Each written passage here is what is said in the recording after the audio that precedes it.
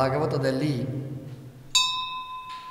ಪ್ರಾರಂಭದ ಭಗವಂತನ ಬಾಲಲೀಲೆಯ ಘಟ್ಟವನ್ನು ವಿಶ್ಲೇಷಣೆ ಮಾಡುವ ಪೂರ್ವಾರ್ಧದ ಕೊನೆಯ ಘಟ್ಟವನ್ನು ರಾಯರು ವಿಶ್ಲೇಷಣೆ ಮಾಡ್ತಾ, ದ್ವೈಜಂ ಸಂಸ್ಕಾರ ಮಾಪ್ತಾ ಗುರುಮತ ವಿದಿತ ಶೇಷವಿದ್ಯಾ ಅವತಾತ್ ನಃ ದತ್ವಾ ಪುತ್ರಂ ಪ್ರವಕ್ತ್ರೆ. ರಾಯರು ಹೇಳ್ತಾರೆ ದ್ವೈಜಂ ಸಂಸ್ಕಾರ ಮಾಪ್ತಃ ನಮ್ಮ ದೇವರಿಗೆ ದ್ವಿಜತ್ವದ ಸಂಸ್ಕಾರ ಆಯಿತು ಅಂತ. ದ್ವಿಜ ಅಂದರೆ ಶಬ್ದ ಹೇಳುವ ಹಾಗೆ ಎರಡನೇ ಜನ್ಮ ಅದು.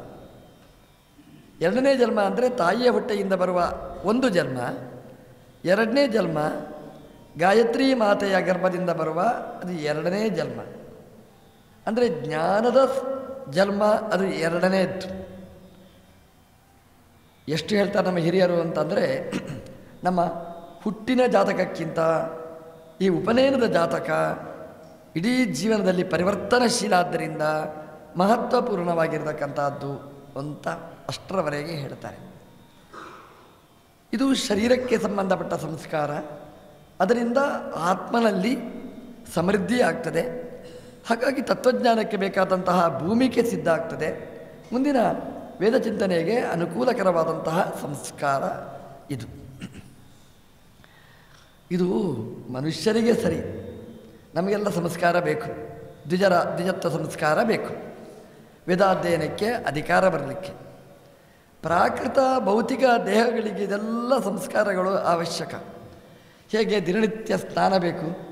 ಸ್ನಾನ ಮಾಡದೆ ಹೋದರೆ ದುರ್ಗಂಧ. ಹಾಗೆಯೇ ಕಾಲಕ್ಕೆ ಸರಿಯಾಗಿರತಕ್ಕಂತಹ ಸಂಸ್ಕಾರ ಅತ್ಯವಶ್ಯಕವಾದ್ದು ದೇವರಿಗೆ ಯಾಕೆ ಸಂಸ್ಕಾರ?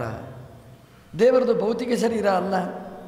ಅಪ್ರಾಕೃತ ಗಾತ್ರದ ಭಗವಂತನಿಗೆ ಸಂಸ್ಕಾರ ಯಾಕೆ?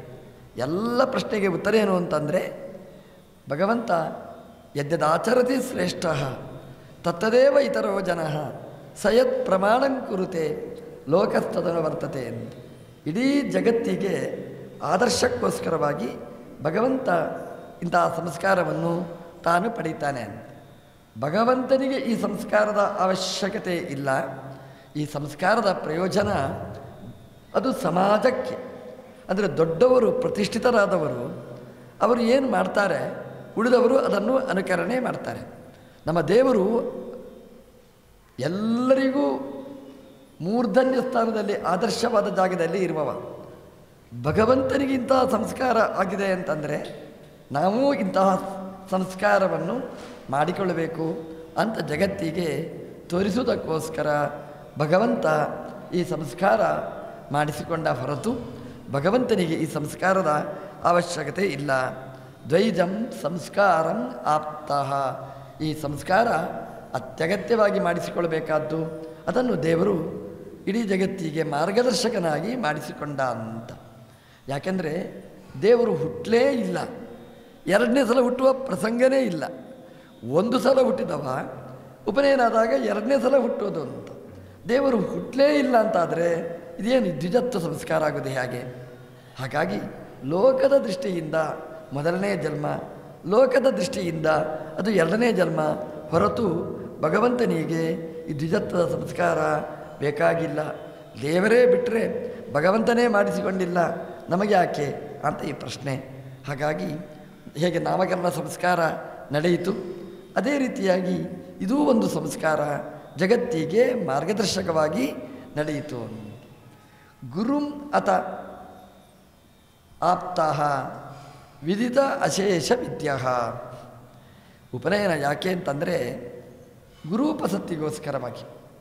ಉಪನಯನಾದ ಬಳಿಕ ಗುರುವಿನ ಹತ್ರ ಕಳಿಸಿಕೊಡಬೇಕು. ಅಧ್ಯಯನಕ್ಕೋಸ್ಕರ ಅಂತ ಮೊದಲನೆಯ ಗಾಯತ್ರಿ ಉಪದೇಶ ನಡೆಯಿತು ಅಂತಂದರೆ ಮುಂದಿನ ಎಲ್ಲ ವೇದ ವೇದಾಂತಗಳ ಅಧ್ಯಯನಕ್ಕೋಸ್ಕರವಾಗಿ ಗುರುಕುಲವಾಸ ಅಂತ. ಇದು ಕಡ್ಡಾಯ ಆ ಕಾಲದಲ್ಲಿ. ನಮ್ಮ ದೇವರು ಈ ಕಡ್ಡಾಯದ ಗುರುಕುಲವಾಸವನ್ನು ಮಾಡಿಕೊಂಡ, ಮಾಡಿದ ಸಂದೀಪಿನಿ ಆಚಾರ್ಯರ ಆಶ್ರಮಕ್ಕೆ ಭಗವಂತ ಸಾಗಿದ. ಸಂದೀಪನಿ ಹೆಸರೇ ಹೇಳುವ ಹಾಗೆ ಒಳ್ಳೆಯ ದೀಪವನ್ನು ಜಗತ್ತಿಗೆ ಕೊಡುವವರು. ಸಾಮಾನ್ಯವಾಗಿ ಈ ದೀಪ ಎಲ್ಲ ನಂದುವಂಥದ್ದು. ಸಂದೀಪ ಸಮ್ ಅಂದರೆ ಇಂಗ್ಲೀಷಿನ ಸಮ್ ಅಲ್ಲ ಇದು, ಸಂಸ್ಕೃತ ಸಮ್ ಅಂದರೆ ಒಳ್ಳೆಯ ವಿಷಯದನ್ನು ಪ್ರಜ್ವಲಿಸುವ, ಬೆಳಕು ಚೆಲ್ಲುವ ದೀಪವನ್ನು ಕೊಡುವವರು ಸಾಂದೀಪನಿ ಗುರುಗಳು. ಅವರ ಆಶ್ರಮಕ್ಕೆ ಭಗವಂತ ಬಂದ. ಸಾಂದೀಪಿನಿ ಆಶ್ರಮಕ್ಕೆ ಬಂದ ಅಂತಂದರೆ, ಸಾಂದೀಪಿನಿ ಆಶ್ರಮದಿಂದ ಭಗವಂತನಿಗೆ ಬಂತು ಅನ್ನೋದಕ್ಕಿಂತಲೂ ಭಗವಂತನಿಂದ ಸಂದೀಪಿನಿ ಆಶ್ರಮಕ್ಕೆ ತುಂಬ ಗಿಫ್ಟ್ ಸಿಕ್ಕಿತು ಅಂತ ಈ ರ್ಯಾಂಕ್ ಸ್ಟೂಡೆಂಟ್ಗಳು ಇರ್ತಾರೆ ನೋಡಿ. ಅವರು ಸೇರಿದ್ದರಿಂದ ಟ್ಯುಟೋರಿಯಲಿಗೆ ಮಹತ್ವ ಹೊರತು ಟ್ಯುಟೋರಿಯಲಿಂದ ಅವರಿಗೆ ಮಹತ್ವ ಬಂದಿರೋದಲ್ಲ ಹಾಗಾಗಿ ಸಂದೀಪಿನಿ ಆಶ್ರಮಕ್ಕೆ ಭಾರೀ ಮಹತ್ವವನ್ನು ನಮ್ಮ ದೇವರು ಕೊಟ್ಟ. ವಿದ್ಯಾರ್ಥಿಗಳ ಸಂಖ್ಯೆನೇ ಅಧಿಕವಾಗಿ ಬರಲಿಕ್ಕೆ ಪ್ರಾರಂಭ ಆಯಿತು ಅಂತ. ಅಲ್ಲಿ ಭಗವಂತ ವಾಸ ಮಾಡಿದ. ಅರವತ್ನಾಲ್ಕು ವಿದ್ಯೆಗಳನ್ನು ಭಗವಂತ ಅಲ್ಲಿ ಸಂಪಾದನೆ ಮಾಡಿದ. ಭಾಗವತಲ್ಲಿ ಹೇಳ್ತಾರೆ, ಅಹೋರಾತ್ರೈಹಿ ಅಂತ. ಅರವತ್ನಾಲ್ಕು ಅಹೋರಾತ್ರಗಳಲ್ಲಿ ಅಧ್ಯಯನ ಮಾಡಿದ ಅಂತ. ಹೇಗಿರ್ಬೋದು ನೋಡಿ, ಅವತ್ತಿನ ಕಾಲದ ಅಧ್ಯಯನದ ಕ್ರಮ. ಹಗಲು, ರಾತ್ರಿ ರಾತ್ರಿ ಹಗಲು ಅಖಂಡವಾಗಿ ಅಧ್ಯಯನಶೀಲನಾಗಿ ಭಗವಂತ ವಿದ್ಯೆಯನ್ನು ಸಂಪಾದನೆ ಮಾಡಿದ ಅಂತ. ಇದು ವಿದ್ಯಾರ್ಥಿಗಳಿಗೆ ಮಾರ್ಗದರ್ಶನ.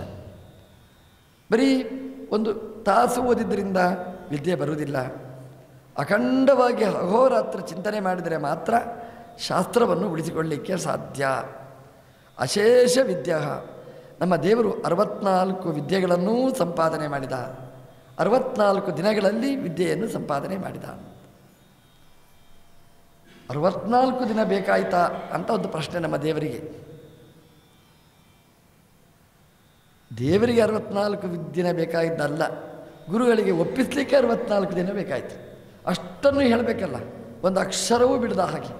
ಹಾಗಾಗಿ ಅರವತ್ನಾಲ್ಕು ದಿನದ ಅಪೇಕ್ಷೆ, ಅದು ಪಾಠ ಹೇಳುವ ಸಾಂದೀಪಿನಿ ಆಚಾರ್ಯರಿಗೆ ಬೇಕಾಯಿತೇ ಹೊರತು ನಮ್ಮ ದೇವರಿಗೆ ಅಲ್ಲ ಅನ್ನೋದನ್ನು ಭಾಗವತ ಉಲ್ಲೇಖ ಮಾಡಿದೆ. ಹೀಗೆ ಭಗವಂತ ವಿದ್ಯೆಯನ್ನು ಪೂರ್ಣಗೊಳಿಸಿದ. ಸಂದೀಪಿನಿ ಆಚಾರ್ಯ ಹತ್ರ ಹೇಳ್ತಾ, ಹೊರಟು ಬರ್ತೇನೆ ಅಂತ. ಆವಾಗ ದಕ್ಷಿಣೆಯನ್ನು ಕೇಳಿದ ಗುರುದಕ್ಷಿಣೆ ಅಂತ. ತನ್ನ ಮಡದಿ ಹತ್ರ ಕೇಳಲಿಕ್ಕೆ ಹೇಳಿದರು. ತನ್ನ ಹೆಂಡತಿ ಹತ್ರ ಹೋಗಿ ನಮ್ಮ ದೇವರು ಕೇಳ್ತಾನೆ ಅಮ್ಮ, ಗುರುದಕ್ಷಿಣೆ ಕೊಡಬೇಕಾಗಿದೆ. ನಿಮ್ಮ ಯಜಮಾನರು ಹೇಳಿದರು, ನಿಮ್ಮ ಹತ್ರ ಕೇಳಲಿಕ್ಕೆ ಹೇಳಿದರು, ಏನು ಬೇಕು ದಕ್ಷಿಣೆ ದೇವರು ಮನೆಯಲ್ಲಿ ವಾಸ ಮಾಡಿದ್ದಾನೆ ಅನ್ನೋದೇ ಒಂದು ದಕ್ಷಿಣೆ. ಅದಕ್ಕಿಂತ ದಕ್ಷಿಣೆ ಇನ್ನೇನು? ಗುರು ದಕ್ಷಿಣೆ, ದೊಡ್ಡ ದಕ್ಷಿಣೆ. ಅದಕ್ಕಿಂತ ದೊಡ್ಡ ದಕ್ಷಿಣೆ ಏನು ಬೇಕು? ಭಗವಂತ ಆ ಆಶ್ರಮದಲ್ಲಿ ಎರಡು ತಿಂಗಳು, ನಾಲ್ಕು ದಿನ ಇದ್ದ ಅಂದ್ರೇ ದೊಡ್ಡ ಹೆಗ್ಗಳಿಕೆ. ಇನ್ನು ಆಶ್ರಮಕ್ಕೆ ಇನ್ನೇನು ದೀಪ ಬೇಡ, ದೊಡ್ಡ ದೀಪ ಅವನೇ ಸಾಂದೀಪಿನಿ ಆಶ್ರಮದ. ಜಾಜ್ವಲ್ಯಮಾನವಾದ ದೀಪ. ಕೇಳ್ತಾಳೆ ಹೆಂಡತಿ, ಏನು ಮತ್ತೇನೂ ಅಲ್ಲ, ನಾನು ಕಳ್ಕೊಂಡಿದ್ದೇನೆ, ಅದನ್ನು ಕೊಡಬೇಕು ಅಂತ ಕೇಳ್ತಾಳೆ. ದೇವರಿಗೆ ಗೊತ್ತು, ಕೇಳಿದಾದರೂ ಕೂಡ, ಏನಮ್ಮ ಕಳ್ಕೊಂಡಿದ್ದೀನಿ ಅಳ್ತಾಳೆ, ನನ್ನ ಮಗುವನ್ನು ಕಳ್ಕೊಂಡಿದ್ದೇನೆ ಅಂತ, ಅದನ್ನು ತಂದು ಕೊಡು ಅಂತ. ಮಕ್ಕಳಿಗೆ ತಾಯ್ತನದ ಮಹತ್ವ ಗೊತ್ತಿರುವುದಿಲ್ಲ. ಎಷ್ಟು ಮಹತ್ವ ಇದೆ ನೋಡಿ ತಾಯಿತನದ ಮಹತ್ವ. ತಾಯಿ ಯಾವುದನ್ನಾದರೂ ಮರೀತಾಳೆ ಅಂತೆ. ಪುತ್ರ ಶೋಕಂ ಯಾವಜ್ಜೀವಂಚ ಅಂತ ಹೇಳ್ತಾರೆ. ಯಾವುದಾದ್ರೂ ಒಂದು ಶೋಕ ಇದ್ದರೆ ಅದಕ್ಕೊಂದು ಅವಧಿ ಅಂತಿರ್ತದೆ ಅಂತೆ. ಆದರೆ ಮಗುವನ್ನು ಕಳ್ಕೊಂಡಿರತಕ್ಕಂತಹ ದುಃಖ ತಾಯಿಗೆ ಜೀವಿತಾವಧಿ ಇರ್ತದೆ ಅಂತೆ. ಕೊನೇ ತನಕ ಆ ಮಗುವನ್ನು ಮರೆಯಲಿಕ್ಕಾಗುವುದಿಲ್ಲ ಅಂತ. ಯಾವುದೋ ಒಂದು ಮಗುವನ್ನು ನೋಡಿದ ಕೂಡಲೇ ತಾಯಿ ಭಾವುಕಳಾಗಿ ಬಿಡ್ತಾಳೆ ಕಣ್ಣಲ್ಲಿ ನೀರು ಬರ್ತದೆ, ಒಳಗಿಂದ ತಪ್ತಳಾಗ್ತಾಳೆ. ಒಂದು ರೀತಿಯಲ್ಲಿ ಅವಳು ತುಂಬ ಉದ್ವೇಗಕ್ಕೆ ಒಳಗಾಗ್ತಾಳೆ. ಅಂತ ಮಗುವನ್ನು ಎಷ್ಟು ಪ್ರೀತಿಸ್ತಾಳೆ ಅನ್ನೋದಕ್ಕೆ ಇದೊಂದು ಉದಾಹರಣೆ. ಹಾಗಾಗಿ ಸಂದೀಪಿನಿ ಆಚಾರ್ಯರ ಆಚಾರ್ಯಾನಿ ಅವಳು ದುಃಖ ತಪ್ತಳಾಗಿ ಮಗುವನ್ನು ನೆನಪಿಸಿಕೊಂಡು ಕೃಷ್ಣನ ಹತ್ರ ಕೇಳ್ತಾಳೆ. ಅವಳು ಕೇಳಿದ ಜಾಗ ಒಳ್ಳೆಯ ಜಾಗ. ಯಾಕೆಂತಂದರೆ ಯಾರಲ್ಲಿ ಕೇಳಿದರೆ ಮಗು ಸಿಗಬಹುದೋ ಅವರ ಹತ್ರನೇ ಕೇಳಬೇಕು. ಯಾರ್ಯಾರಲ್ಲಿ ಕೇಳಿ ಏನು ಉಪಯೋಗ? ಸಾಮಾನ್ಯ ವ್ಯಕ್ತಿಗಳ ಹತ್ರ ಕೇಳಿದರೆ, ಹೌದಾ, ಮಗು ಹೋಯ್ತಾ? ಛೇ, ಪಾಪ ಅಂತ ಹೇಳ್ತಾರೆ. ಆಚೆ ಹೋದ ಮೇಲೆ ಹೇಳ್ತಾರೆ, ನಂದೇ ಶಾಪ ನಿನಗೆ ಅಂತ ಹೇಳ್ತಾರೆ. ಅಂಥವ್ರ ಹತ್ರ ಆದರೂ ಉಪಯೋಗ ಏನು? ಯಾರ ಹತ್ರ ಕೇಳಬೇಕು? ದೇವರ ಹತ್ರ ಕೇಳಬೇಕು. ಯಾಕೆ? ಜನ್ಮಾದ್ಯಸ್ಯ ಯತಃ ಅಂತ. ನಮ್ಮ ದೇವರ ಹತ್ರ ಕೇಳ್ತಾಳೆ. ನಮ್ಮ ದೇವರು ಕೇಳಿದ, ಕೇಳುವುದಿಲ್ಲ. ಕೇಳಿದ ಮೇಲೆ ಹಿಂದೆ ಬರುವ ಪ್ರಶ್ನೆನೇ ಇಲ್ಲ. ನಮ್ಮ ದೇವರು ಸಮುದ್ರಕ್ಕೆ ಹಾರಿದ. ಸಮುದ್ರ ರಾಜನ ಹತ್ರ ಹೋದ, ನೇರ ವರುಣನ ಹತ್ರ ಹೋದ. ವರುಣ ಹೇಳಿದ, ನಮಗೆ, ನಮ್ಮಲ್ಲಿ ಅಂತಹ ಕಂಪ್ಲೇಂಟ್ ಏನು ರಿಕಾರ್ಡ್ ಆಗಲಿಲ್ಲ. ಅಂತಹ ಸಂದೀಪಿನಿ ಆಚಾರ್ಯರ ಆಶ್ರಮದಿಂದ ಒಂದು ಹೆಣನೂ ಇಲ್ಲಿ ಬರಲಿಲ್ಲ ಅಂತ ಸ್ವಾಮಿ ಕ್ಷಮಿಸಬೇಕು ಅಂತ ವರುಣ ಕ್ಷಮೆ ಆಚರಣೆ ಮಾಡಿದ. ಸ್ವಲ್ಪ ಕ್ಲೂ ಕೊಡ್ತಾನೆ. ಇಲ್ಲಿ ಪಂಚಜನ ಅಸುರ ಇದ್ದ, ಅವನ ಹತ್ರ ಕೇಳಿದರೆ ಏನಾದರೂ ಸಿಗ್ಬೋದು ಮಾಹಿತಿ ದೇವರು ಸಮುದ್ರಕ್ಕೆ ಮಧ್ಯಕ್ಕೆ ಇಳಿದ, ಪಂಚಜನ ಅಸುರ ಅಂತ. ಹೋಗಿ ಅವನನ್ನು ಅವನೇನು ಹೇಳಲಿಲ್ಲ. ಅವನನ್ನು ಸಂಹಾರ ಮಾಡಿದ. ಅವನ ಒಳಗೆ, ಹೊಟ್ಟೆ ಒಳಗೆ ಹೋಗಿ ನೋಡಿದ, ಏನು ಸಿಗಲಿಲ್ಲ ಮಾಹಿತಿ. ಆದರೆ ಏನು ಸಿಕ್ಕಿತು ಅಂತಂದರೆ ಅದು ಶಂಕ ಪಂಚಜನ ಅಂದರೆ ಅದು ಶಂಕ ಹಾಗಾಗಿ ಆ ಶಂಕ ಸಿಕ್ಕಿತು. ನಮ್ಮ ದೇವರ ಕೈಯಲ್ಲಿರುವುದು ಅದೇ. ಪಾಂಚಜನ್ಯ ಅಂತ ಕರೀತಾರೆ. ಪಂಚಜನ, ಅವನ ಶರೀರ ಅದು ಶಂಕ ಅದನ್ನು ಭಗವಂತ ತಂದ. ಇನ್ನೇನು ಮಾಡಬೇಕು? ಬಂದ ಕೆಲಸ ಮಾಡದೆ ವಾಪಸ್ ಹೋಗೋ ಪ್ರಶ್ನೆನೇ ಇಲ್ಲ ಕೃಷ್ಣ. ಎಲ್ಲ ಆಫೀಸಿಗೂ ಹೋದ. ಅಲ್ಲಿಂದ ಪಂಚಜನ ಸಂಹಾರ ಆದ ಬಳಿಕ ದೇವರಿಗೆ ಸ್ವಲ್ಪ ಮಾಹಿತಿ ಸಿಕ್ಕಿತು. ಯಮನ ಮನೆಗೆ ಹೋದರೆ ಹೇಗೆ ಅಂತ. ಸಂಯಮಿನೀಪುರಕ್ಕೆ ಹೋಗ್ತಾನೆ. ನಮಗೆ ಯಮಲೋಕ ಅಂದರೆ ಭಯ. ಯಾಕೆಂದರೆ ನಾವು ತಪ್ಪು ಮಾಡಿದವರು. ಪಾಪದ ಭಯ ನಮಗೆ. ಕೇಳಿದೆ ಪುರಾಣದಲ್ಲಿ ಯಮಲೋಕ ಅಂದರೆ ಎಷ್ಟು ಶಿಕ್ಷೆ ಕೊಡ್ತಾರೆ ಅಂತ. ಅದಕ್ಕೆ ಆಮೇಲೆ ಸುಲಭ ಉಪಾಯ ಇದೆ. ಗೋದಾನ ಮಾಡಿಬಿಟ್ರೆ ಯಮಲೋಕ ಇಲ್ಲ ಅಂತ. ಏನು ಮಾಡಿದರೂ ಪ್ರಾರಬ್ಧ ಇದ್ದರೆ ಹೋಗಲೇಬೇಕು. ದೇವರಿಗೆ ಭಯನೇ ಇಲ್ಲ. ಯಾಕೆಂದರೆ ಅನ್ಯಾಯನೇ ಮಾಡಲಿಲ್ಲ, ಭಯ ಇಲ್ಲ ಅವನಿಗೆ. ಸಂಯಮಿನೀಪುರಕ್ಕೆ ಹೋದ. ಹೋದರೆ ಭಾರೀ ಸ್ವಾಗತ ನಮ್ಮ ದೇವರಿಗೆ. ಯಮದೇವರು ಭಗವಂತನ ಆಜ್ಞೆಯ ಪ್ರಕಾರ ದ್ವಾರಪಾಲಕನಾಗಿರುವವ. ದೇವರನ್ನು ಸ್ವಾಗತ ಮಾಡಿದ. ದೇವರು ಕೇಳಿದ, ಯಮ, ನಿನ್ನ ಸ್ವಾಗತ ಅದೆಲ್ಲ ನನಗೆ ಮುಖ್ಯ ಅಲ್ಲ, ನನ್ನ ಬಂದ ಕೆಲಸ. ಏನು ಅಂತ ಕೇಳಿದೆ ಯಮ, ಸಂದೀಪಿನಿ ಆಚಾರ್ಯರ ಪುತ್ರನನ್ನು ಕೊಡು ಅಂತ ಉಂಟ ಅಂತ ಕೇಳಲಿಲ್ಲ, ಕೊಡು ಅಂತ ಕೇಳಿದ. ಯಮದೇವರು ಕೂಡ ನೋಡಿದರು, ಹುಡುಕಿದರು, ಸಿಕ್ಕಿದರು. ಸಂದೀಪಿನಿ ಆಚಾರ್ಯರ ಮಗ ಸಿಕ್ಕಿದ. ಅದನ್ನು ಯಮದೇವರು ಕೊಟ್ಟರು, ಹಿಡ್ಕೊಂಡು ಹೊರಟ. ಸಾಮಾನ್ಯವಾಗಿ ಯಮದೇವರ ಹತ್ರ ಹೋದರೆ ನಾವು ಕೊಟ್ಟು ಬರಬೇಕಾದ್ರು ನಮ್ಮ ದೇವರು ಹೋದರೆ ಹಿಡ್ಕೊಂಡು ಬಂದ. ಕೃಷ್ಣನ ಬಗ್ಗೆ ನಾವು ಮಾತಾಡಬೇಕಾದರೆ ಎಷ್ಟು ಎಚ್ಚರ ಇರಬೇಕು ಅನ್ನೋದನ್ನು ಯಮಲೋಕದ ಕಥೆಯಿಂದ ನಾವು ಚಿಂತನೆ ಮಾಡಬೇಕಾದ್ದು. ಗೋಪಿಗೆಯರ ಜೊತೆಗೆ ವಿಹಾರ ಮಾಡಿದ ಬಗೆಯನ್ನು ನಾವು ನೋಡಿದ್ದೇವೆ. ಆ ಗೋಪಿಗೆಯರಲ್ಲಿ ಹತ್ತು ಲಕ್ಷ ಮಕ್ಕಳನ್ನು ಕೊಟ್ಟ ಅನ್ನೋದನ್ನು ಭಾಗವತ ಉಲ್ಲೇಖ ಮಾಡಿದೆ. ನಾವು ನೆನಪಿಟ್ಟುಕೊಳ್ಬೇಕಾದ್ದು, ಇದು ಅಪರಾಧ ಅಂತ ಆಗಿದ್ದರೆ ಯಮ ಶಿಕ್ಷೆ ಕೊಡಬೇಕಾಗಿತ್ತು ಯಮನಿಗೆ ಹೆಸರು ಸಮವರ್ತಿ ಅಂತ ಹೆಸರು. ಎಲ್ಲರ ಜೊತೆಗೂ ಸಮಾನವಾಗಿ ವರ್ತಿ, ವರ್ತನೆ ಮಾಡುವವ ಯಮ. ಕೃಷ್ಣನಿಗೆ ಶಿಕ್ಷೆ ಕೊಡಬೇಕಿತ್ತು. ಕೃಷ್ಣ, ನೀನು ಅನ್ಯಾಯ ಮಾಡಿದ್ದಿ, ನಿನಗೆ ಶಿಕ್ಷೆ ಅಂತ. ಶಿಕ್ಷೆ ಕೊಡಲಿಲ್ಲ. ಆದ್ದರಿಂದ ಭಗವಂತ ಏನು ಮಾಡಿದ? ಇದು ನ್ಯಾಯ. ಕಾಮಾತುರನಾಗಿ ಮಾಡಿರತಕ್ಕಂಥದ್ದಲ್ಲ ಏನು ಮಾಡಬೇಕೋ ಅದನ್ನು ಭಗವಂತ ಕೊಟ್ಟ ಅನ್ನುವ ಚಿಂತನೆ ನಾವು ಮಾಡಬೇಕಾದ್ದು. ಮಗುವನ್ನು ಹಿಡ್ಕೊಂಡು ಸಾಂದೀಪಿನಿ ಆಚಾರ್ಯರ ಹತ್ರ ಬಂದು ಅವರಿಗೆ ವಾಪಸ್ ಕೊಟ್ಟ. ಸತ್ ರಾಯರು ಹೇಳ್ತಾರೆ ದತ್ವಾ ಪುತ್ರಂ ಪ್ರವಕ್ತ್ರೆ ಪ್ರತಿಗತ ಮಧುರಾಹ. ಸಂದೀಪಿನಿ ಆಚಾರ್ಯರಿಗೆ, ಅವರ ಮನೆಯವರಿಗೆ ಮಗುವನ್ನು ಕೊಟ್ಟ. ಎಷ್ಟು ಆನಂದ ಅವರಿಗೆ. ಜೀವಮಾನದಲ್ಲಿ ಎಂದೆಂದೂ ಕಾಣದೇ ಇದ್ದ ಅನುಭವ. ಅವರು ಆಸೆ ಬಿಟ್ಟಿದ್ರು. ಸತ್ವದ ಮಗ ಬರಲಿಕ್ಕುಂಟ ಅಂತ ಕೃಷ್ಣನ ಹತ್ರ ಹೋದರೆ ಸತ್ವದ ಮಗ ಬರಲಿಕ್ಕೆ ಸಾಧ್ಯ ಅನ್ನೋದನ್ನು ಭಾಗವತ ತೋರಿಸಿಕೊಟ್ಟಿದೆ. ಸಂದೀಪಿನಿ ಆಚಾರ್ಯರು, ಅವರ ಮನೆಯವರು ಸತ್ವದ ಮಗನನ್ನು ಪಡೆದರು. ಜೀವನದಲ್ಲಿ ಎಂಥ ಸೌಭಾಗ್ಯ. ಇದು ಭಾಗವತ ಹೇಳಿದ್ದು ಭಗವಂತನ ಅಚಿಂತ್ಯ ಅದ್ಭುತ ಸಾಮರ್ಥ್ಯಕ್ಕೆ ಇದೊಂದು ಉದಾಹರಣೆ. ಕೃಷ್ಣ ದೇವರು ಹೌದು ಅನ್ನೋದಕ್ಕೆ ಇದೊಂದು ನಿದರ್ಶನ. ಪ್ರತಿಗತ ಮಧುರಾಹ ದೇವರು ಸಂದೀಪಿನಿ ಆಶ, ಆಶ್ರಮದಿಂದ ಮಧುರಾಪಟ್ಟಣಕ್ಕೆ ವಾಪಸ್ ಬಂದ. ಸಂದೀಪಿನಿ ಆಶ್ರಮ ಅಂತಂದರೆ ಇವತ್ತು ತೋರಿಸುವುದು ಉಜ್ಜಯಿನಿಯಲ್ಲಿ. ಓಂಕಾರೇಶ್ವರ ಮಂದಿರದ ಪಕ್ಕದಲ್ಲಿ ಸಂದೀಪಿನಿ ಆಶ್ರಮ ಅಂತ ತೋರಿಸ್ತಾರೆ. ಉಜ್ಜಯಿನಿ ಅಂದರೆ ಮಧ್ಯಪ್ರದೇಶ. ಕೃಷ್ಣನ ಮಧುರೆ ಇರುವುದು ಉತ್ತರ ಪ್ರದೇಶದಲ್ಲಿ. ಒಂದು ಅಧ್ಯಯನಕ್ಕೆ ಎಷ್ಟು ದೂರ ಬರಬೇಕಾಗಿತ್ತು ಅಂತ ಒಂದು ಸಲ ಆಲೋಚನೆ ಮಾಡಿ. ಉತ್ತರದ ಪ್ರದೇಶದಿಂದ ನಮ್ಮ ದೇವರು ಮಧ್ಯದ ಪ್ರದೇಶಕ್ಕೆ ಬಂದಿದ್ದರು ಅಂತ. ಅವತ್ತು ಅಭ್ಯಾಸಕ್ಕೆ ಪ್ರಸಿದ್ಧವಾದಂತಹ ಜಾಗ ಅದು ಉಜ್ಜಯಿನಿ. ಎಲ್ಲ ವಿದ್ಯೆಗಳಿಗೆ ಆಕರ. ಆ ಜಾಗಕ್ಕೆ ಬಂದರೆ ಯಾರ್ಯಾರಿಗೆ ಏನೇನು ಬೇಕು ಎಲ್ಲ ವಿದ್ಯೆಯಲ್ಲಿ ಪಾರಂಗತನಾಗಲಿಕ್ಕೆ ಸಾಧ್ಯ. ನಮ್ಮ ದೇವರು ಬಂದು ಹೋದ ಮೇಲಂತೂ ದೊಡ್ಡ ಬೋರ್ಡ್ ಬಿದ್ದಿತ್ತು. ಅರವತ್ನಾಲ್ಕೇ ದಿವಸದಲ್ಲಿ ಎಲ್ಲ ವಿದ್ಯೆಯನ್ನು ಹೇಳಿಕೊಡಲಾಗುತ್ತೆ. ಅದು ಕೃಷ್ಣನಂತಹ ಪಾತ್ರ ಸಿಕ್ಕಿದರೆ ಅಂತ ಗುಟ್ಟಲ್ಲಿ ಮೆಲ್ಲ ಬರೆದಿದ್ರು ಅದರಲ್ಲಿ. ಆ- ಜಾಗಕ್ಕೆ ಬರಬೇಕು ಅಂದರೆ ಆ ಜಾಗದ ಮಹತ್ವ ಎಷ್ಟು ಅಂತ ನಾವು ಸಲ ಅನುಸಂಧಾನ ಮಾಡಬೇಕಾದ್ದು. ಮದುರೆಗೆ ಬಂದ ನಮ್ಮ ದೇವರು, ಸಾಂತ್ವಯನ್ ಉದ್ದವಾಸ್ಯಾತ್ ಗೋಷ್ಠಸ್ಥಾನ್ ನಂದಪೂರ್ವಾನ್ ಅರಮಯತೆ. ನಮ್ಮ ದೇವರು ಗೋಪಾಲಕರನ್ನು ಬಿಟ್ಟು ಮಧುರಾಪಟ್ಟಣಕ್ಕೆ ಬಂದಿದ್ದಾನೆ. ಬರುವಾಗ ಗೋಪಿಕೆಯರು ಆಕ್ಷೇಪ ಮಾಡಿದರು, ಕೃಷ್ಣ, ಹೋಗಬೇಡ, ಮಧುರೆಗೆ ಹೋಗಬೇಡ, ನಮ್ಮೊಟ್ಟಿಗೆ ಇರು ಅಂತ ಹೇಳಿದರು.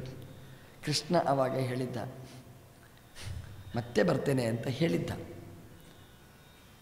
ಆ ಕಾರಣದಿಂದ ಕೃಷ್ಣ ಅವರಿಗೆ ಸಂದೇಶ ಕಳಿಸಬೇಕಾಗಿದೆ. ಉದ್ದವಾಸ್ಯಾತ್ ಉದ್ದವನ ಮೂಲಕ ಹೇಳಿ ಕಳಿಸ್ತಾನೆ ಅಂತ. ಉದ್ದವ ಅಂದರೆ ಬೃಹಸ್ಪತ್ಯಾಚಾರ್ಯರ ಮತ್ತೊಂದು ಅವತಾರ. ದ್ರೋಣರಾಗಿ ಒಂದು ರೂಪದಿಂದ ಅವತರಿಸಿದ್ದಾರೆ ಬೃಹಸ್ಪತ್ಯಾಚಾರ್ಯರು. ಮತ್ತೊಂದು ರೂಪದಿಂದ ಉದ್ಧವನಾಗಿ ಭೂಮಿಗೆ ಬಂದಿದ್ದಾರೆ. ದ್ರೋಣರಾಗಿ ಕೃಷ್ಣನ ಸೇವೆಯನ್ನು ಅಷ್ಟು ಮಾಡಲಿಕ್ಕಾಗುವುದಿಲ್ಲ ಕೈಂಕರ್ಯ. ಕೃಷ್ಣನ ವಿರುದ್ಧ ಪಕ್ಷದಲ್ಲಿ ನಿಲ್ಲಬೇಕಾಗ್ತದೆ ಧನುರ್ವಿದ್ಯೆಯಲ್ಲೇ ಪಾರಂಗತರಾದ ದ್ರೋಣರು ದುರ್ಯೋಧನನ ಪಕ್ಷಕ್ಕೆ ನಿಂತು ಕೃಷ್ಣನ ವಿರುದ್ಧ ಪಕ್ಷದಲ್ಲಿ ನಿಂತು ಯುದ್ಧ ಮಾಡಬೇಕಾದ ದಾರುಣ ಪ್ರಸಂಗ ಇದೆ. ಕೃಷ್ಣನ ಸೇವೆ ಮಾಡಲಿಕ್ಕಾಗುವುದಿಲ್ಲ. ಕೃಷ್ಣನ ಸೇವೆ ಮಾಡಬೇಕು ಅನ್ನುವ ದೃಷ್ಟಿಯಲ್ಲಿ ಉದ್ದವನಾಗಿ ಮತ್ತೊಂದು ರೂಪದಿಂದ ಬಂದರಂತೆ. ಉದ್ದವ ಅಂದರೆ ಉತ್ಸವ ಅಂತ ಅರ್ಥ. ಆನಂದ ಅಂತ ಮಹಾ ಉದ್ದವ ಉತ್ಸವ ಉತ್ಸವ ಅಂತ. ಉತ್ಸವ ಅಂದರೆ ನಿಮ್ಗೆ ಗೊತ್ತು. ಗಮ್ಮತ್ತಿನ ಜಾಗ ಅಂತ. ಎಲ್ಲರೂ ಖುಷಿ ಪಡತಕ್ಕಂಥದ್ದು. ಗಂಡಸರು, ಹೆಂಗಸರು, ಮಕ್ಕಳು, ವೃದ್ಧರು ಎಲ್ರಿಗೂ ಖುಷಿ ಪಡುವಂಥದ್ದು. ಉತ್ಸವ ಅಂದರೆ ಎಲ್ಲರೂ ಭಾಗವಹಿಸ್ತಾರೆ. ಅದರಲ್ಲಿ ಶ್ರೀಮಂತರು ಬಡವರು ಅನ್ನುವ ಪ್ರಶ್ನೆ ಇಲ್ಲ. ವಿದ್ಯಾವಂತರರು ಪಾಮರರು ಅನ್ನತಕ್ಕಂತಹ ಪ್ರಭೇದ ಇಲ್ಲ. ದೊಡ್ಡವರು, ಚಿಕ್ಕವರು ಎಂಬ ವಿಭಾಗ ಇಲ್ಲವೇ ಇಲ್ಲ. ಎಲ್ಲರೂ ಆನಂದವನ್ನು ಅನುಭವಿಸುವ ಜಾಗಕ್ಕೆ ಉತ್ಸವ ಅಂತ ಕರೀತಾರೆ. ಉತ್ಸೂತೆ ಆನಂದಂ ಯಸ್ಮಾತ್ ಉತ್ಸವ ಪರಿಕೀರ್ತಿತ. ಆನಂದವನ್ನು ಉಂಟು ಮಾಡಿಕೊಡತಕ್ಕಂತಹ ಜಾಗ ಅಂತ. ಉದ್ದವ ಅಂದರೂ ಅದೇ ಅರ್ಷ, ಅದೇ ಅರ್ಥ ಅಂತೆ. ಆನಂದವನ್ನು ಕೊಡುವವ ಉದ್ದವ ಅಂತ. ಅವನು ಆನಂದಮಯ. ಯಾಕೆಂದರೆ ಟೆನ್ಷನ್ ಇಲ್ಲ ಅವನಿಗೆ ಯಾಕೆ ಅಂತಂದರೆ ಕೃಷ್ಣನೊಟ್ಟಿಗೆ ಇದ್ದವ. ಕೃಷ್ಣನನ್ನು ಬಿಟ್ಟು ಪ್ರತ್ಯೇಕತೆ ಅಂತ ಉದ್ದವನಿಗೆ ಇಲ್ಲ ಅಂತೆ ಎಷ್ಟು ಅಂತಂದರೆ ಉದ್ದವನೇ ಒಂದು ಕಡೆ ಹೇಳ್ತಾನೆ. ತ್ವಯೋಪಭುಕ್ತ ಸ್ರಗ್ಗಂಧ ವಾಸೋಲಂಕಾರ ಚರ್ಚಿತಾ ಉಚ್ಚಿಷ್ಟ ಭೋಜಿನೋ ದಾಸಾಹ. ತವ ಮಾಯಾಂ ಜಯೇಮಹಿ. ಉದ್ದವನೇ ಭಗವಂತನತ್ರ ಹೇಳಿದ ಮಾತು. ಅವನು ಹೇಳ್ತಾನೆ ಉದ್ದವ? ಅವನು, ಅಮ್ಮ, ಕರೆಯದಂತೆ ಊಟಕ್ಕೆ ಬಾ ಅಂತ. ಐದು ವರ್ಷದವ. ಪಂಚವತ್ಸರ ಪಂಚಹಾಯನೋ ಬಾಲಹ. ಅಮ್ಮ, ಕರೆಯುದು. ಮಗು, ಉದ್ದವ, ಊಟಕ್ಕೆ ಬಾ ಅಂತ. ಅಮ್ಮ, ಪೂಜೆ ಆಗಿಲ್ಲ ಅಂತ ಹೇಳ್ತಾನೆ. ಪೂಜೆ ಅಂದರೆ ಕೃಷ್ಣನೇ, ಮತ್ತೇನು ಅಲ್ಲ ಅವನಿಗೆ. ಬೆಳಗಿನ ಪ್ರಾತರಾಶಾರ್ಥೆ ಬೆಳಗಿನ ನಾಷ್ಟಕ್ಕೆ ಬಾ ಅಂತ ಕರೆದರೆ ಕೃಷ್ಣ ಬಿಟ್ಟು ಬರ್ತಿರಲಿಲ್ಲ ಅಂತ ಉದ್ದವ. ಎಷ್ಟು ಭಕ್ತಿ ನೋಡಿ ಕೃಷ್ಣನ ಮೇಲೆ. ಮತ್ತೇನು ಅವನ ಜೀವನ ಹೇಗೆ? ಕೃಷ್ಣ ಬಟ್ಟೆ ಹಾಕ್ಕೊಳ್ತಿದ್ದ ಬೇಡ ಅಂತ ಬಿಸಾಡ್ತಿದ್ದ. ದೇವರು ಉಟ್ಟು ಬಿಟ್ಟ ಬಟ್ಟೆ ಅದು ಉದ್ದವನಿಗೆ. ಹಾಗಾಗಿ ಜನರಿಗೆ ಕೃಷ್ಣನೇ ಬಂದ ಅಂತ ಅನಿಸ್ಬೇಕು. ಯಾಕಂದರೆ ಕೃಷ್ಣನ ವೇಷ ಬೇರೆ ಅಲ್ಲ, ಉದ್ದವನ ವೇಷ ಬೇರೆ ಅಲ್ಲ. ಕೃಷ್ಣ ಮಾಲೆ ಹಾಕ್ಕೊಳ್ತಿದ್ದಾನೆ ಇವತ್ತು. ಅದನ್ನು ಬಿಸಾಡ್ತಾನೆ ನಿರ್ಮಾಲ್ಯ. ಅದು ಮರುದಿವಸ ಉದ್ದವನ ಕೊರಳಲ್ಲಿ ಅಲಂಕೃತವಾಗ್ತಿತ್ತು. ಇವತ್ತು ಔಟ್ ಆಫ್ ಫ್ಯಾಷನ್. ಅವತ್ತಿನ ಕಾಲದಲ್ಲಿ ಫ್ಯಾಷನ್ ಅದು. ಕುತ್ತಿಗೆಯಲ್ಲಿ ಒಂದು ಮಾಲೆ ಹಾಕ್ಕೊಳ್ಬೇಕು ಅಂತಿತ್ತು.